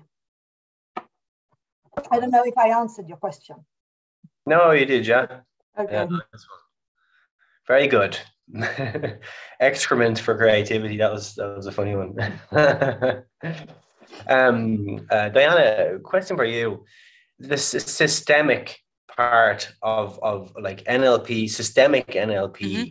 What what exactly does that mean, and what's the difference between that and NLP, and maybe just tell so, people how, yeah. how, would, how would they learn more about it? Because personally, I've done NLP and EFT when I was in my 20s in Thailand and literally changed patterns I had for my whole life up to that point. Within three days, it changed me, you know. So it's it's it's amazingly powerful stuff, but it seems to be uh, hidden away a little bit, you know. It's rare that I would get somebody coming to me and saying, Oh, I was doing NLP, you know what I mean? But they would usually say, I've been to a therapist. But um, the, the, I think the you know the reprogramming and the subconscious part of that is is really powerful and maybe not in the spotlight enough, you know. Yeah, this is a huge topic. Yeah, I could uh, also talk a bit longer for it. I will explain what systemic and NLP means in the beginning. NLP is neuro linguistic programming, so basically programming of your language and your speech, your speaking, but also your thinking of yourself. Um, and systemic means that you um, don't see yourself as in a closed room, as an individual not touching anything else if you change yourself. But systemic means that you see yourself within a system that um, you can influence. So as I described you, the ripple effect, um, it's basically meaning the same as if you change yourself and if you throw that stone into the water, um, the change of your actions at your thoughts um, that just give a different vibe into the world out will definitely affect the people surrounding you. So for you, basically, if you live together with Paula and you decide to make small naps, four hours, eight, four hours, this will definitely affect her in her daily life. Or for you, Daisy, if you decide, I don't know, from now on not being such a happy very vivid and super beautiful person that, that I got to see like in the last few hours here, minutes. This will definitely change your uh, crowd and the people supporting you because you will pull a different energy of people. And um, I, am Russian. In Russian, you have a saying: "What you shout into the um, into the trees, into the wood, uh, or into the woods, will come back to you." It's the like echo. Hmm? I like that yeah um so this so what you give out and what vibes you're giving out of you that's what you can get back and you can get different things out by speaking by thinking that's what i was um, telling you with one of my exercises um, starting with yourself, but also starting with how you communicate with others and how you phrase your wordings. Do you um, speak more positively, more negatively?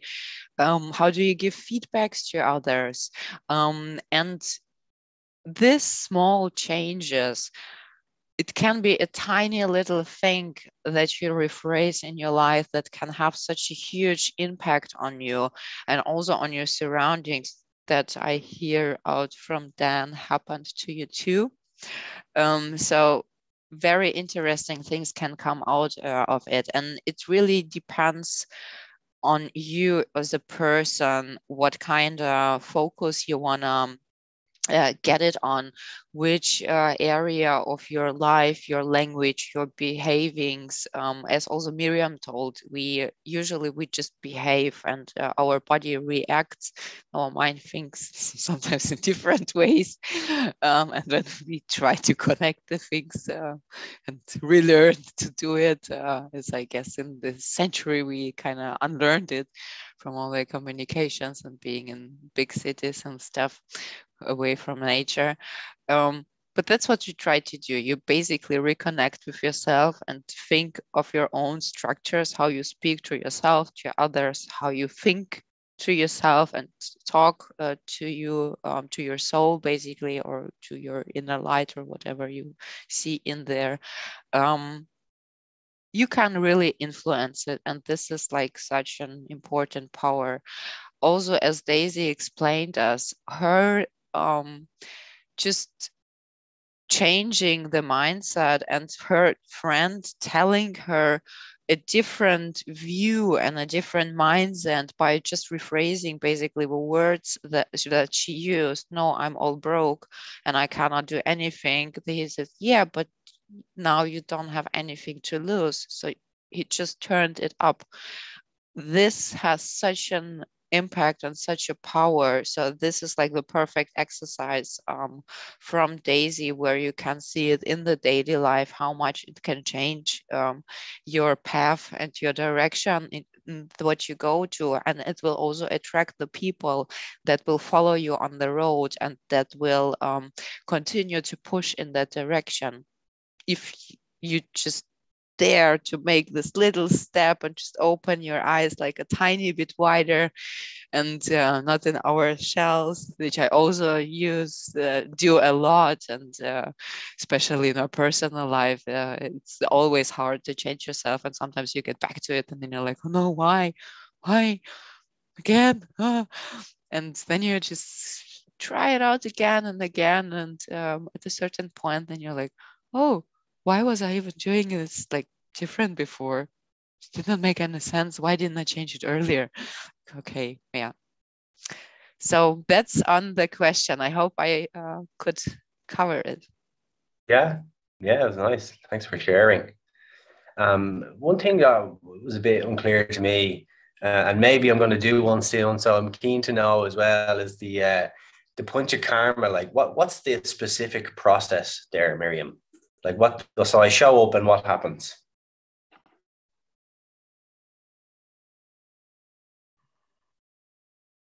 Yes, this is um, Panchakarma is very uh, uh, much, you know, this uh, experiential process. You have to experience it. It's very difficult to describe it with words. As something uh, is not describable, you know, just your experiences. The thing is that uh, when you cleanse your body uh, and w- when you teach your body routines and you clean it, you cleanse your body, you know, in a loving, uh, slow uh, way, and you are not deprived, you don't feel the de- deprivation, deprivation of anything, then actually love happens. You just feel this uh, uh meditation in your mind that everything becomes still and um, you're just filled with uh, gratitude and love to just the fact that you are, you are alive. This is what happens there after the cleanse. The cleanse itself is very, uh, it's very uh, gentle, I would say, but very deep. Uh, it's uh, we use uh, we use ghee to to soften the body inside and outside, and this ghee makes the mm, uh, the, the processes in the body very slow. And actually, you you softly um, um, sort of um, drop through your own patterns, your own behavior, behavior patterns and the patterns of thought. So this is very, this is how I can explain it. I don't know if it makes any sense when you just, uh, maybe Paula can um, can uh, say what what her experiences have been. So. Yeah, yeah, yeah. You're basically just just do it, Dan. yeah, to feel is to know, as they say, you know. Um, yes, exactly. I know. Uh, yeah. I know. Like um, my experiences with plant medicines. Um, I'll, I'll use the, the most uh, profound experience I had, which was in the Amazon uh, with ayahuasca and huachuma. Uh, like, you know, people told me stuff about it, and you know, I read loads about it and watched videos, and like none of that came close to what you feel when when you're there, and like everything is vibrating, and you know, there's things scanning your body and stuff. It's yeah, no amount of reading or anything can can explain that. You just got to feel it, you know. Yeah, yeah, but it's a it's a in a way it's similar, but uh, but uh, mm, mm, let's say panchakarma is really subtle. Yeah. But when you go to ayahuasca ceremony, it's really yes, yes, yes. But uh, Ayurvedic things are all really subtle. If you Yeah. don't do it, you maybe not experience anything. You know. Yeah, yeah, hmm yeah, But it changes the behavior and mind patterns. yeah, yeah. That's important. Let's see here now. Questions. Do we have any questions online? Yeah, do a round of comments and questions. Yeah. Oh, it looks like we have some questions from the listeners or the viewers. Yeah, so I'm going to mute myself and then Paula's going to ask the question. Open the video now. Um, hi, everyone. Paula here. I have been uh, chatting with you on YouTube and um, collecting your questions and comments. And thanks a lot for everyone joining. First, um, I would like to throw out some comments and see if we have any responses to those comments from our panelists. Um, first comment I'd like to bring out was from uh, Nora Flora. Um, she said that, or they said, excuse me, I uh, can't do assumptions. Um, but uh, they said that Daisy brings rainbows into the world and even uh, in difficult situations, and uh, they've seen it. So I just wanted to bring this to Daisy um, as a little uh, flowers to you today. um, so that was what I started off with. Now, the second comment I have here is that um, also from uh, Nora Flora um, saying that she would also add um, connection as a fifth category to what Dan you were talking about in the pyramid of uh, importances of things. So connection to uh, others and um, nature specifically, because uh, what you talked about would bring connection to self. So all these holistic practices bring connection to ourselves. Um, but do you perhaps have something to comment on how to deepen your connection to others and to the nature, perhaps, Dan? Yeah. Um, you need to mute. Yeah, I mean, how to deepen your connection to others and to nature. Uh, pretty straightforward from from my point of view. Go into nature with someone. Not to sound like a smart arse, but um, I think that is a that is the easiest way. You know, um, I totally agree. Uh, it's definitely in that list uh, of holistic things that's very critical. You know, for for well being. You know, I've really noticed uh, the last year, say, I've, I've spent way more time inside than I've ever spent before, you know, and you kind of get used to it. And uh, you know, I was I went through a little phase of insomnia there at the end of the year, and I was like, what's going on, you know? And uh, and I was like zooming out a bit and trying to think, and and and I was like, you haven't been going out into nature really much at all. Uh, Daniel-san. So, uh, yeah, it, it's really, uh, really important to get out there. You know, um, cold, go for some cold dips. You know, um, another another thing I love to do um, is is take some psilocybin and and go out in, into nature. You know, this is next level for connecting. You know, it just instantly raises your frequency and I don't know tunes you into to to Mother Nature. You know, so um, I know that's not everyone's cup of tea, and it's definitely not necessary to connect with nature, but uh, it's a it's a beautiful thing, you know. And and if you have someone there to share it with, you know, even more so. Um, so yeah, just just just get out, get out into it, and um,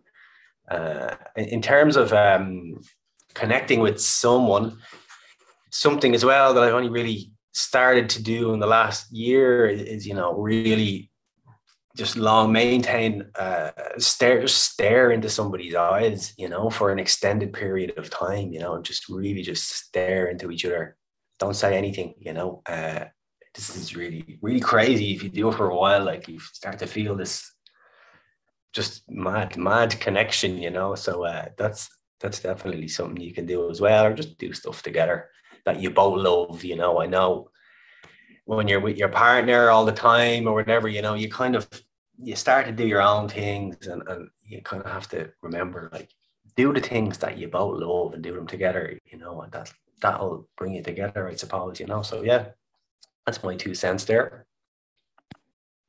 Maybe I can add something about uh, connection to others. What I find uh, helpful um, for myself is um, deep listening, basically, and uh, trying to um, rephrase the um, that um, yeah of a person, just rephrase it and um, make a person feel comfortable and heard. And this gives gives you such a deep connection to to a person because then you also observe a person differently and um, you look at them in a different light and um, just pay more attention and go deeply into it so this helped me personally a lot to deepen relationships and um, not to be so fast and uh, jumpy, but to really feel the person and how um, he or she is inside. Um, and maybe on nature, I started having worms and centipedes in all my plants. This is my nature connection. this might sound crazy, but I love worms. I was afraid of centipedes. Now I'm not afraid anymore. I still feel not comfortable with them, but at least I managed to overcome my kind of fear of them. So I feed them with leftovers from my food, which is super environmental friendly. And my worms get like yeah, the rest of my potatoes and salads and stuff. So maybe this brings the nature into your flat even or house so yeah. Gourmet worms. What about uh, you ladies uh, miriam or, or daisy? Do you have anything there? Any wisdom for us? Yes yeah. I have experience that um, when you do the body cleanse and you take good care of your body you you love your uh, vessel of the of the spirit, then um, connection happens naturally. Spirituality happens naturally because it's all built in a human person. So basically, it's uh, it's very uh, relieving to to think that you don't have to do, uh, you know, big things or anything much just to take care of your body, basically, and um, keep the mind, train the mind to be still, and then everything happens. You can just, uh, you get all the uh, uh, wisdom of the world, so to say, all the divine wisdom, wisdom. You just get it because your channel is clean, basically. You are able to receive it. Nice. And then you, and then you feel that everything is one actually, that you are one with everything, everyone and everything. The hippies were right.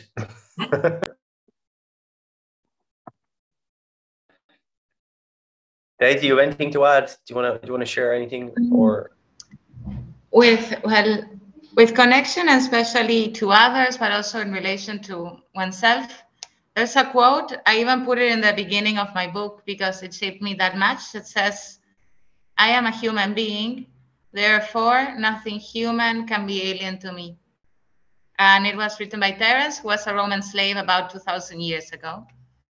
Uh, but from that's a place where i like to that I show up or where my heart is open when I connect to others and the world and nature. Uh, in the sense that uh, beyond the social construction of, of gender and the life circumstances that shape us, uh, there's a, we come from the same earth that birthed us.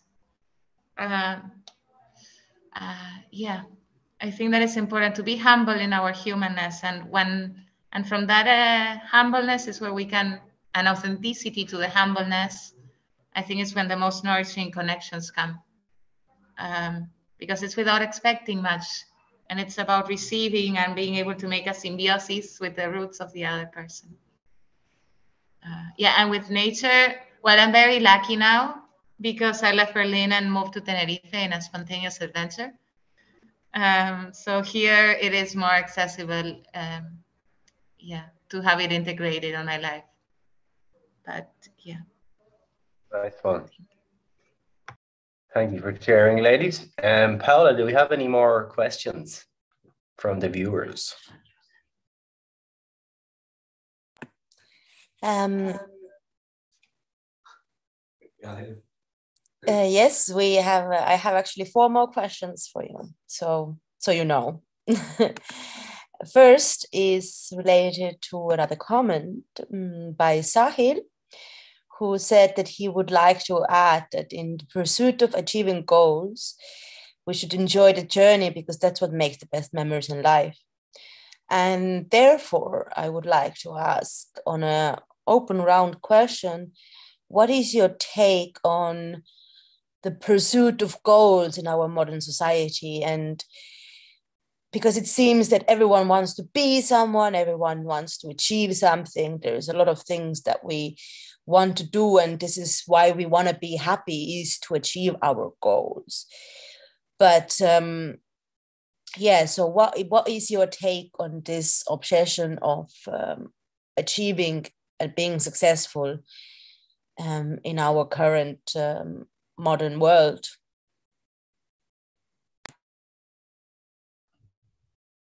Um, yeah, I can start there. Um, yeah, it, it is very true. Um, I, if speaking for me personally, like I think the reason why I set goals and uh, it's kind of I feel like if you don't have some sort of a signpost you just kind of end up going la la la la la la, and you just don't know what you're doing, and your mind and your heart kind of start to go a bit mental. Basically, like this is me speaking personally. That maybe this doesn't apply to everybody, but um, I definitely think it's important to have goals. But yeah, as he said, as you said, what's what's Sahil Sahil says, like it's it is very important to enjoy the journey, you know. Um, but I think there's definitely like a yeah, this mentality of more, I have to do more and you know, ultimately just get to the end point, you know. Uh, fuck everything else in between is that's really bad, you know, but it, it does seem to be very prevalent at the moment with, with people, you know. Um, so yeah, uh, enjoy the journey. Uh, uh bingo, you're on the money, man. That's me. Next. Ladies, anyone want to talk about that? I think, at least for me, goals, I like to, I'm a dreamer and I like to see what happens if it works. So for me, it's either an experiment to see how, like, when I put a goal, of course, I want to achieve the goal, but it's more like, could I do the exercise of becoming like the exercise of trying to achieve the goal is what is more important for me. It's like how we walk the walk towards our goal. Um, like for example, when I first had my first book experience that I made this GoFundMe, uh, I did not reach the goal and I lost all the money that I had uh, raised. And it was really disappointing because of course I really wanted the book and I had all these like super goal ideas. But then when I sat down with it and I started deconstructing it, I saw that until like all what I had learned until then or with that experience helped me a lot for the second round. And it was not so much the goal, but the person I became in that in between, the things I learned about myself, the situations that I put myself in that allowed me to, yeah, to be shaped by my goals. I think it's important to set goals that can shape you in a really good way and that the experience of achieving it can be nourishing.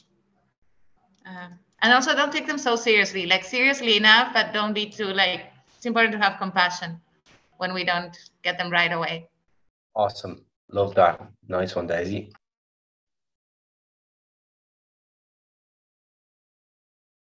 I think that the goals are good. You everybody has goals, but uh, but this uh, controlling how you you reach to your goals is sometimes uh, a trap. So have the goal and then shoot the arrow, and that let the divine do the the find the ways how how how you reach your goal actually. So this is the uh, the divine balance, I would say. Everybody has a life goal. Everybody comes to this world with this special, special goal, you know. But uh, then trying to control everything exactly how you how you get to the goal uh, doesn't let the leave the you know divine uh, uh, the, the, space for divine for miracles to happen. Totally. Yeah and, you... and we a little bit we live in this uh, performance oriented uh, area but but this is but this is changing i feel. Yeah i think like for me uh, maybe the last the last year more than ever i've noticed synchronicity examples of it you know what i mean and it's like when you tune in or tune out, whatever way you want to look at that, it, it starts to present itself then, you know. And if you're really hyper focused on this thing here, then you just miss all of these other beautiful things along the way, you know. beautifully put together. I, have wanted to say the same as miriam and i think you it's so easy to lose yourself on the way if you're so strict within yourself. And what a beautiful comment from sohail so sahil? Sorry i didn't get the name. Sahil, yeah. sahil? Okay. This is like because this is this is amazing take the journey and enjoy the journey. And, and, as you said you notice then you're in the zone then you follow the goal anyway because it's there and you know it. But you have like the space to see all the beautiful things and uh, people that pass you and that might also be leading in a similar direction and that can take you also um, on a small tiny road like with them and carry you along and then they jump off again but you're like a tiny bit nearer towards your goal and this is um, so magical that then this happens and then you find this um, sidekicks and side information and beautiful things happening to you but you really have to let it go a bit. Um, yeah and find the beauty in the journey itself and in the learning process itself. And i think this is um, if you get that then it becomes a very beautiful way. Yeah totally. Um we have another question paula yeah? I'm going to mute myself yeah?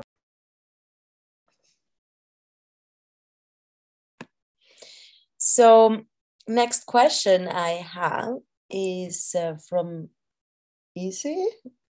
I'm sorry, his names can be very exotic for my tongue. However, Um, the question is uh, how to track your sleeping cycles and what methods and techniques can be used to track your sleeping cycles and how to wake up in the ideal time period. So, um, yeah, for anyone who has anything to say about that. Yeah, um, I can talk about that. Um, yeah, thanks for the question. So there's lots of different ways you can, you know, technically track it. Um, there's different applications. There's one just called Sleep. If you have an Android phone, it's called Sleep for Android. Um, that basically uses the accelerometer, the thing in your phone when you move that it detects, and you can leave the phone on your bed, and turn off your, you know, data stuff so you're not getting brain zapped. You can leave it on, on your bed and, and that will detect when you're shuffling if you're you know making noise and stuff and it can kind of gather some metrics about you know the stages of sleep you're in because when you're in REM sleep your brain basically releases uh, like it paralyzes your whole body completely shuts down your whole all of your muscles uh, and so you just don't move. Um, so it's able to tell from that like where where you are kind of thing. But um generally, if you know if you if you're in a healthy a sleeping pattern, uh, let's say, you kind of fall asleep around the same amount of time it takes, right, from the time you kind of go right, lights out. It's usually about 15 minutes or something, or give or take, you know. So you can even with that just ballpark figure it, you know, it doesn't need to be really, really precise. Uh, and then just time 90 minutes cycles, you know. Um, and then yeah, just just play around with with getting up, uh, you know, after X amount of cycles, and even try getting up in the bang in the middle of a cycle with an alarm, and start your day that way versus doing it at the end of cycles and check out the difference. It's really it's really crazy, you know.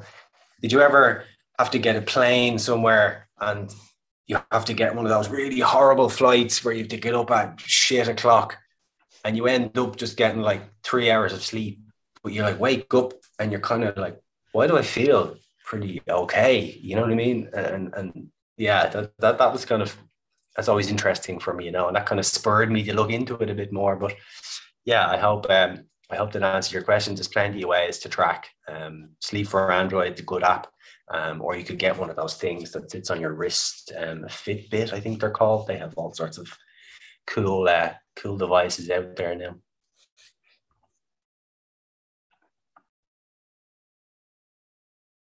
I think I'm the only one that's doing sleep hacking, am I? so maybe we can uh, get another question there, Pow Pow.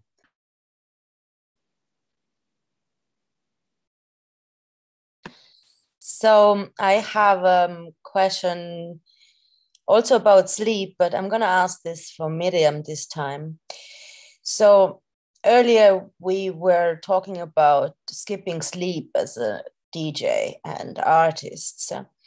So from an Ayurvedic perspective, can we compensate to um, compensate our skip sleep pattern by eating regularly, for example, or eating uh, healthy, or how can someone compensate um, to miss sleep? Because that is a big part for artists in order to so that miss sleep can be the 20% of the bad stuff. So but what's important to compensate for that to stay healthy? Yes you are quite right um, have the structure uh, in your life otherwise you know just uh, eat well at the right times and try to sleep um, uh, go to bed early when you don't have a night out, whatever. Just uh, at least one day a week, or maybe two days a week, or however it, it's uh, it's okay for you. When you don't work, then go to bed early, have a rest. And also, very good thing is to learn to meditate to have little, you know, meditations during the daytime or the day nap as Dan was speaking about. So this is all the ways that you can compensate for sleep deprivation.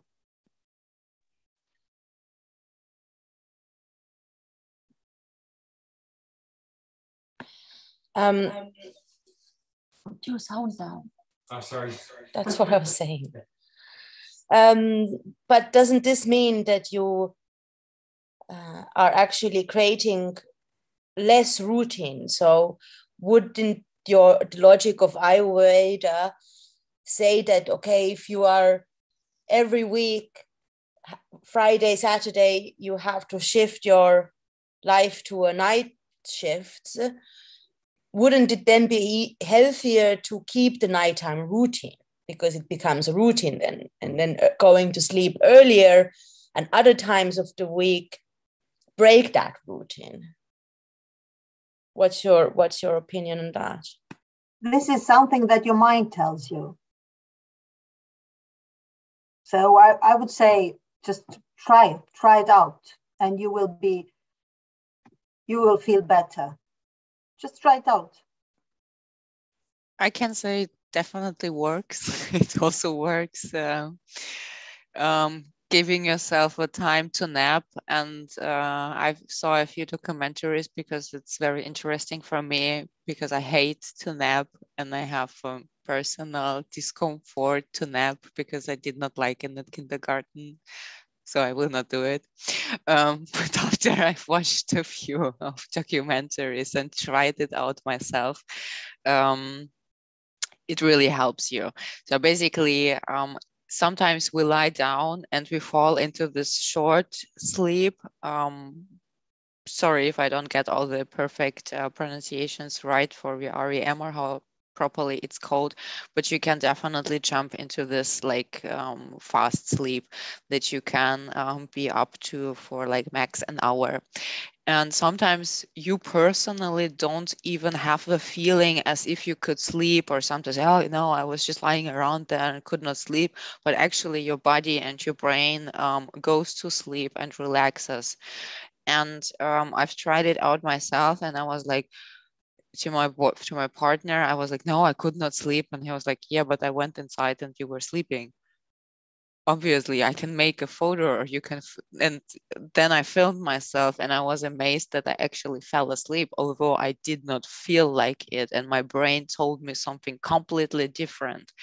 Um, and after making this um, yeah example on my own and trying it out i had to admit that naps are super important and it's so helpful for you as an artist because you get this kind of calmness calmness and balance um, and you feel way refreshed uh, way more refreshed after it. And um, this is amazing how it worked but i was uh, non-believer like total non-believer before and i was always trying not to do it and go as late to bed as possible sleep as long as possible for super long hours um, because it's a dj live set and I like that you're play late. That's what you kind of start doing.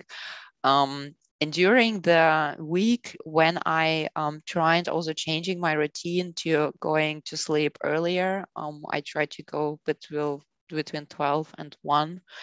This works for me personally. I know that from many people it might be a bit too late, but this is my perfect time during the week when I don't have like my late nine gigs. It's a perfect time frame for me personally. Um, and then I set it to 7.45, eight hours. This is the perfect amount of my sleep time. But this was also like long learning, listening to my body and just getting to know it and also trying it out myself. Yeah, nice one. Uh, there's a book I posted it in the YouTube there. It's um, by a guy Matthew Walker. It's called Why We Sleep. Wow, will blow your mind um, have a read. It's very interesting, uh, very relatable for everybody, you know. But um, you can get it as an audio book or whatever, stick it on in your car. super nice. Um, Paul is telling me we have another question. I'm going to mute myself to not get feedback again.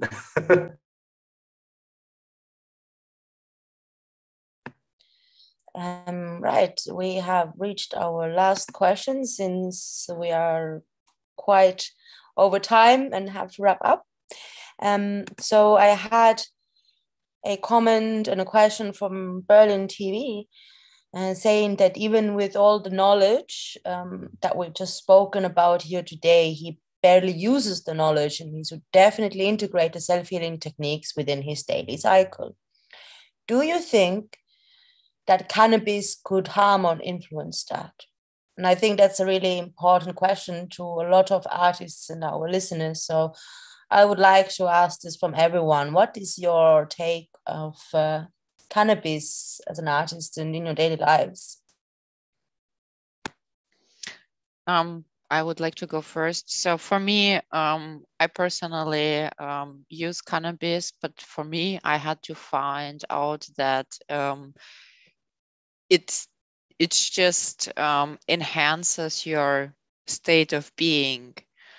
So if you're in a depressive state of mind, it will pull you further into the state of mind. If you're in a happy state of mind, it will push you further in this state of mind. And um, that's what I learned. So if I'm not clear with myself on my own um, without any drugs and um, or medicine or stuff, then it makes no sense for me to uh, take other drugs or things to try out.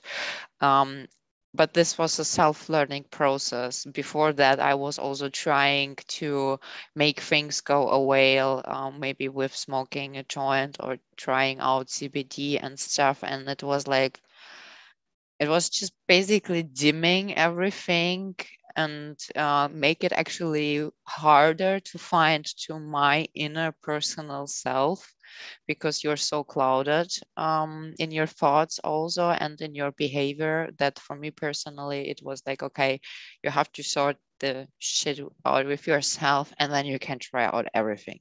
Um, whatever is to your liking then you can move on and uh, maybe test what brings you um, and enhances you in a good way. Um, but cannabis was definitely in a bad state of mind, I would never advise to use it. But this is my personal opinion. Oh. Yeah, I um I can speak a bit about that as well. Yeah, when I was when I was younger, I was a very heavy stoner, you know, and uh, yeah, for quite a while, you know, and it was really just screwing me up. And um, it's kind of like it kind of raises your sensitivity but numbs you at the same time. So you're like really sensitive to everything, but you're like, oh, everything's fine, you know, but things are still going into the sponge, you know what I mean? You're just like almost ignorant to them.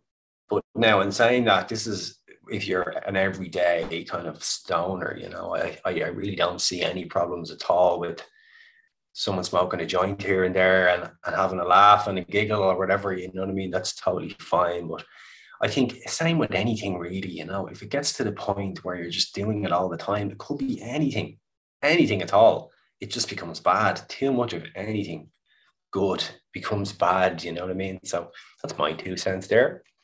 Daisy, do you have anything to share? I think so. With weed, I've gone on phases where I was smoking a lot Sometimes there were eras in Berlin where I had so much work and I have body pain also. So I would smoke maybe one gram a day and then a lot of coffee. Then I would quit for a while. Um, now I'm quite healthy. I haven't smoked so much in the last month since I left Berlin, actually. And for me, like a joint is like a walking stick, you know? Sometimes you need a walking stick when the knees are not working so well until they recover and become stronger. Other times you find a, a big stick in the forest and it's fun to carrying around because it brings adventure and whatever. As long as we don't become super dependent on them, on it. And I'm talking as someone who smoked a lot and now just stopped and was able to still be connected to my creativities as long as it doesn't become a non-negotiable. But at the same time, I don't know, people have their bodies and they know what's best for them. Uh, so I think they should always do whatever they they want. I think it's finding what works for the each one's own alchemy and each one's own ecosystem. But uh, yeah, now I took like a three month break and it was it helped a lot. I was so I felt really grateful. I felt very fresh. So it's nice to also experience, I think, oneself if one is a heavy smoker outside of it and make it like also important. You know, if you're a stoner, Hakuna Matata, but also make time to not smoke for a bit.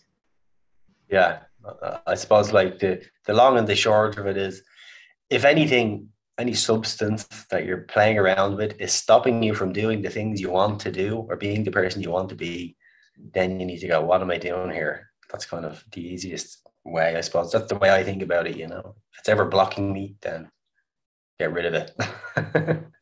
Miriam, do you want to share anything? Yeah, yes, I just echo to you that um, overdoing anything can can do you harm actually. So that's it be sensible with everything. Yeah, yeah. As my, my dad used to say, he liked to he liked to drink, shall we say, excess in moderation. my cool. grandpa liked to say that too. he oh, really? also likes yeah. to drink. Yeah. Nice one. Um, yeah, uh, yeah. I just want to say thank you to the three of you. It's been great having you here and, and connecting and talking and sharing together and um, yeah, very grateful. Um, thanks for everything that you, you brought today. Um, uh, I, I really hope that we, for the people on, on online, I really, or anyone who watches this down the line, you know, I really hope that you get something out of it. And it touches you in some way, invokes some emotion, some new ways of thinking, uh, spurs you to do some something differently than you are now. And uh, yeah, uh, peace and love and all that hippie shit. Uh, but yeah, um, enjoy enjoy life. Um, have a beautiful evening, uh, ladies. If you have any uh, any parting messages, now would be the time. Well, uh, yeah. If anyone is interested on like also brainstorming and like about creative resilience, please reach out. Same if someone would like to get a copy of Wild Child of the Universe, you can reach out to me through Facebook or, or Instagram. Thank you very much. And thank you also for, for this is the first time I'm doing a panel. Uh, so I feel a lot of gratitude in, yeah, using storytelling to, to connect and hopefully, yeah, we can all roar and compose more traumas with the times that come ahead. Thank you. yeah also from my side i'm uh, very honored to be part of you all here you're such amazing human beings and i was very glad to might have helped some of you out um, also you can reach out to me uh, via my socials uh, for coachings or just for questions or just for a chat um, so stay out there stay positive and uh, yeah Thank you, Dan and Paula, for for being such cool hosts, and uh, also for Catalyst Music and CTM Festival for organizing this. I think this is a super super important topic, and thank you, Daisy and Miriam. It was so rewarding to hear and see you. Thank you. Thank you for this heart-opening event. Really, I felt really good connection. Thank you. And the same, you can reach out to me if you're interested in Panchakarma. If you want to participate, you are very welcome. So you will get the information. Uh, I think you will just, maybe you can send them or, yeah. Okay. Thank you. Lovely, nice one. And last, lastly, just to mention, so uh, we will gather, we being Field Conspiracy, we'll gather um, links and socials and all of some of the, the, the, finer points of, of, of what we talked about today, and we'll put them into a post on the website. Uh, so please go to fieldconspiracy.com and subscribe there. Don't forget, you'll get a 10% off gut test if you subscribe to the mailing list. This is our cheap way of getting you to subscribe. um, and yeah, lastly, uh, very lastly, we have uh, more a couple more events as part of CTM Vorspiel. Um, one on Saturday, which Paula will be hosting. Um, about the cooperative models versus the normal models uh, in the music industry. Um, so that's on Saturday. What time is it? At three, is it? At 3 p.m. So don't miss that. And uh, same same format online. And then on Sunday, uh, we have um, music, video performances um, from all, all kinds of genres and styles, um, including a, a, set from yours truly. so yeah, tune in. That's going out on Threads Radio. What time does it start? Uh, 2 p.m. That starts at 2 p.m. So that's threadsradio.com or just see the event. Go to Field Conspiracy on Facebook and you'll see the event there and you can see us all doing our thing. But yeah, much love. Thanks a million again, ladies. Have a lovely evening. Yeah. See you later. Bye bye. ciao, ciao.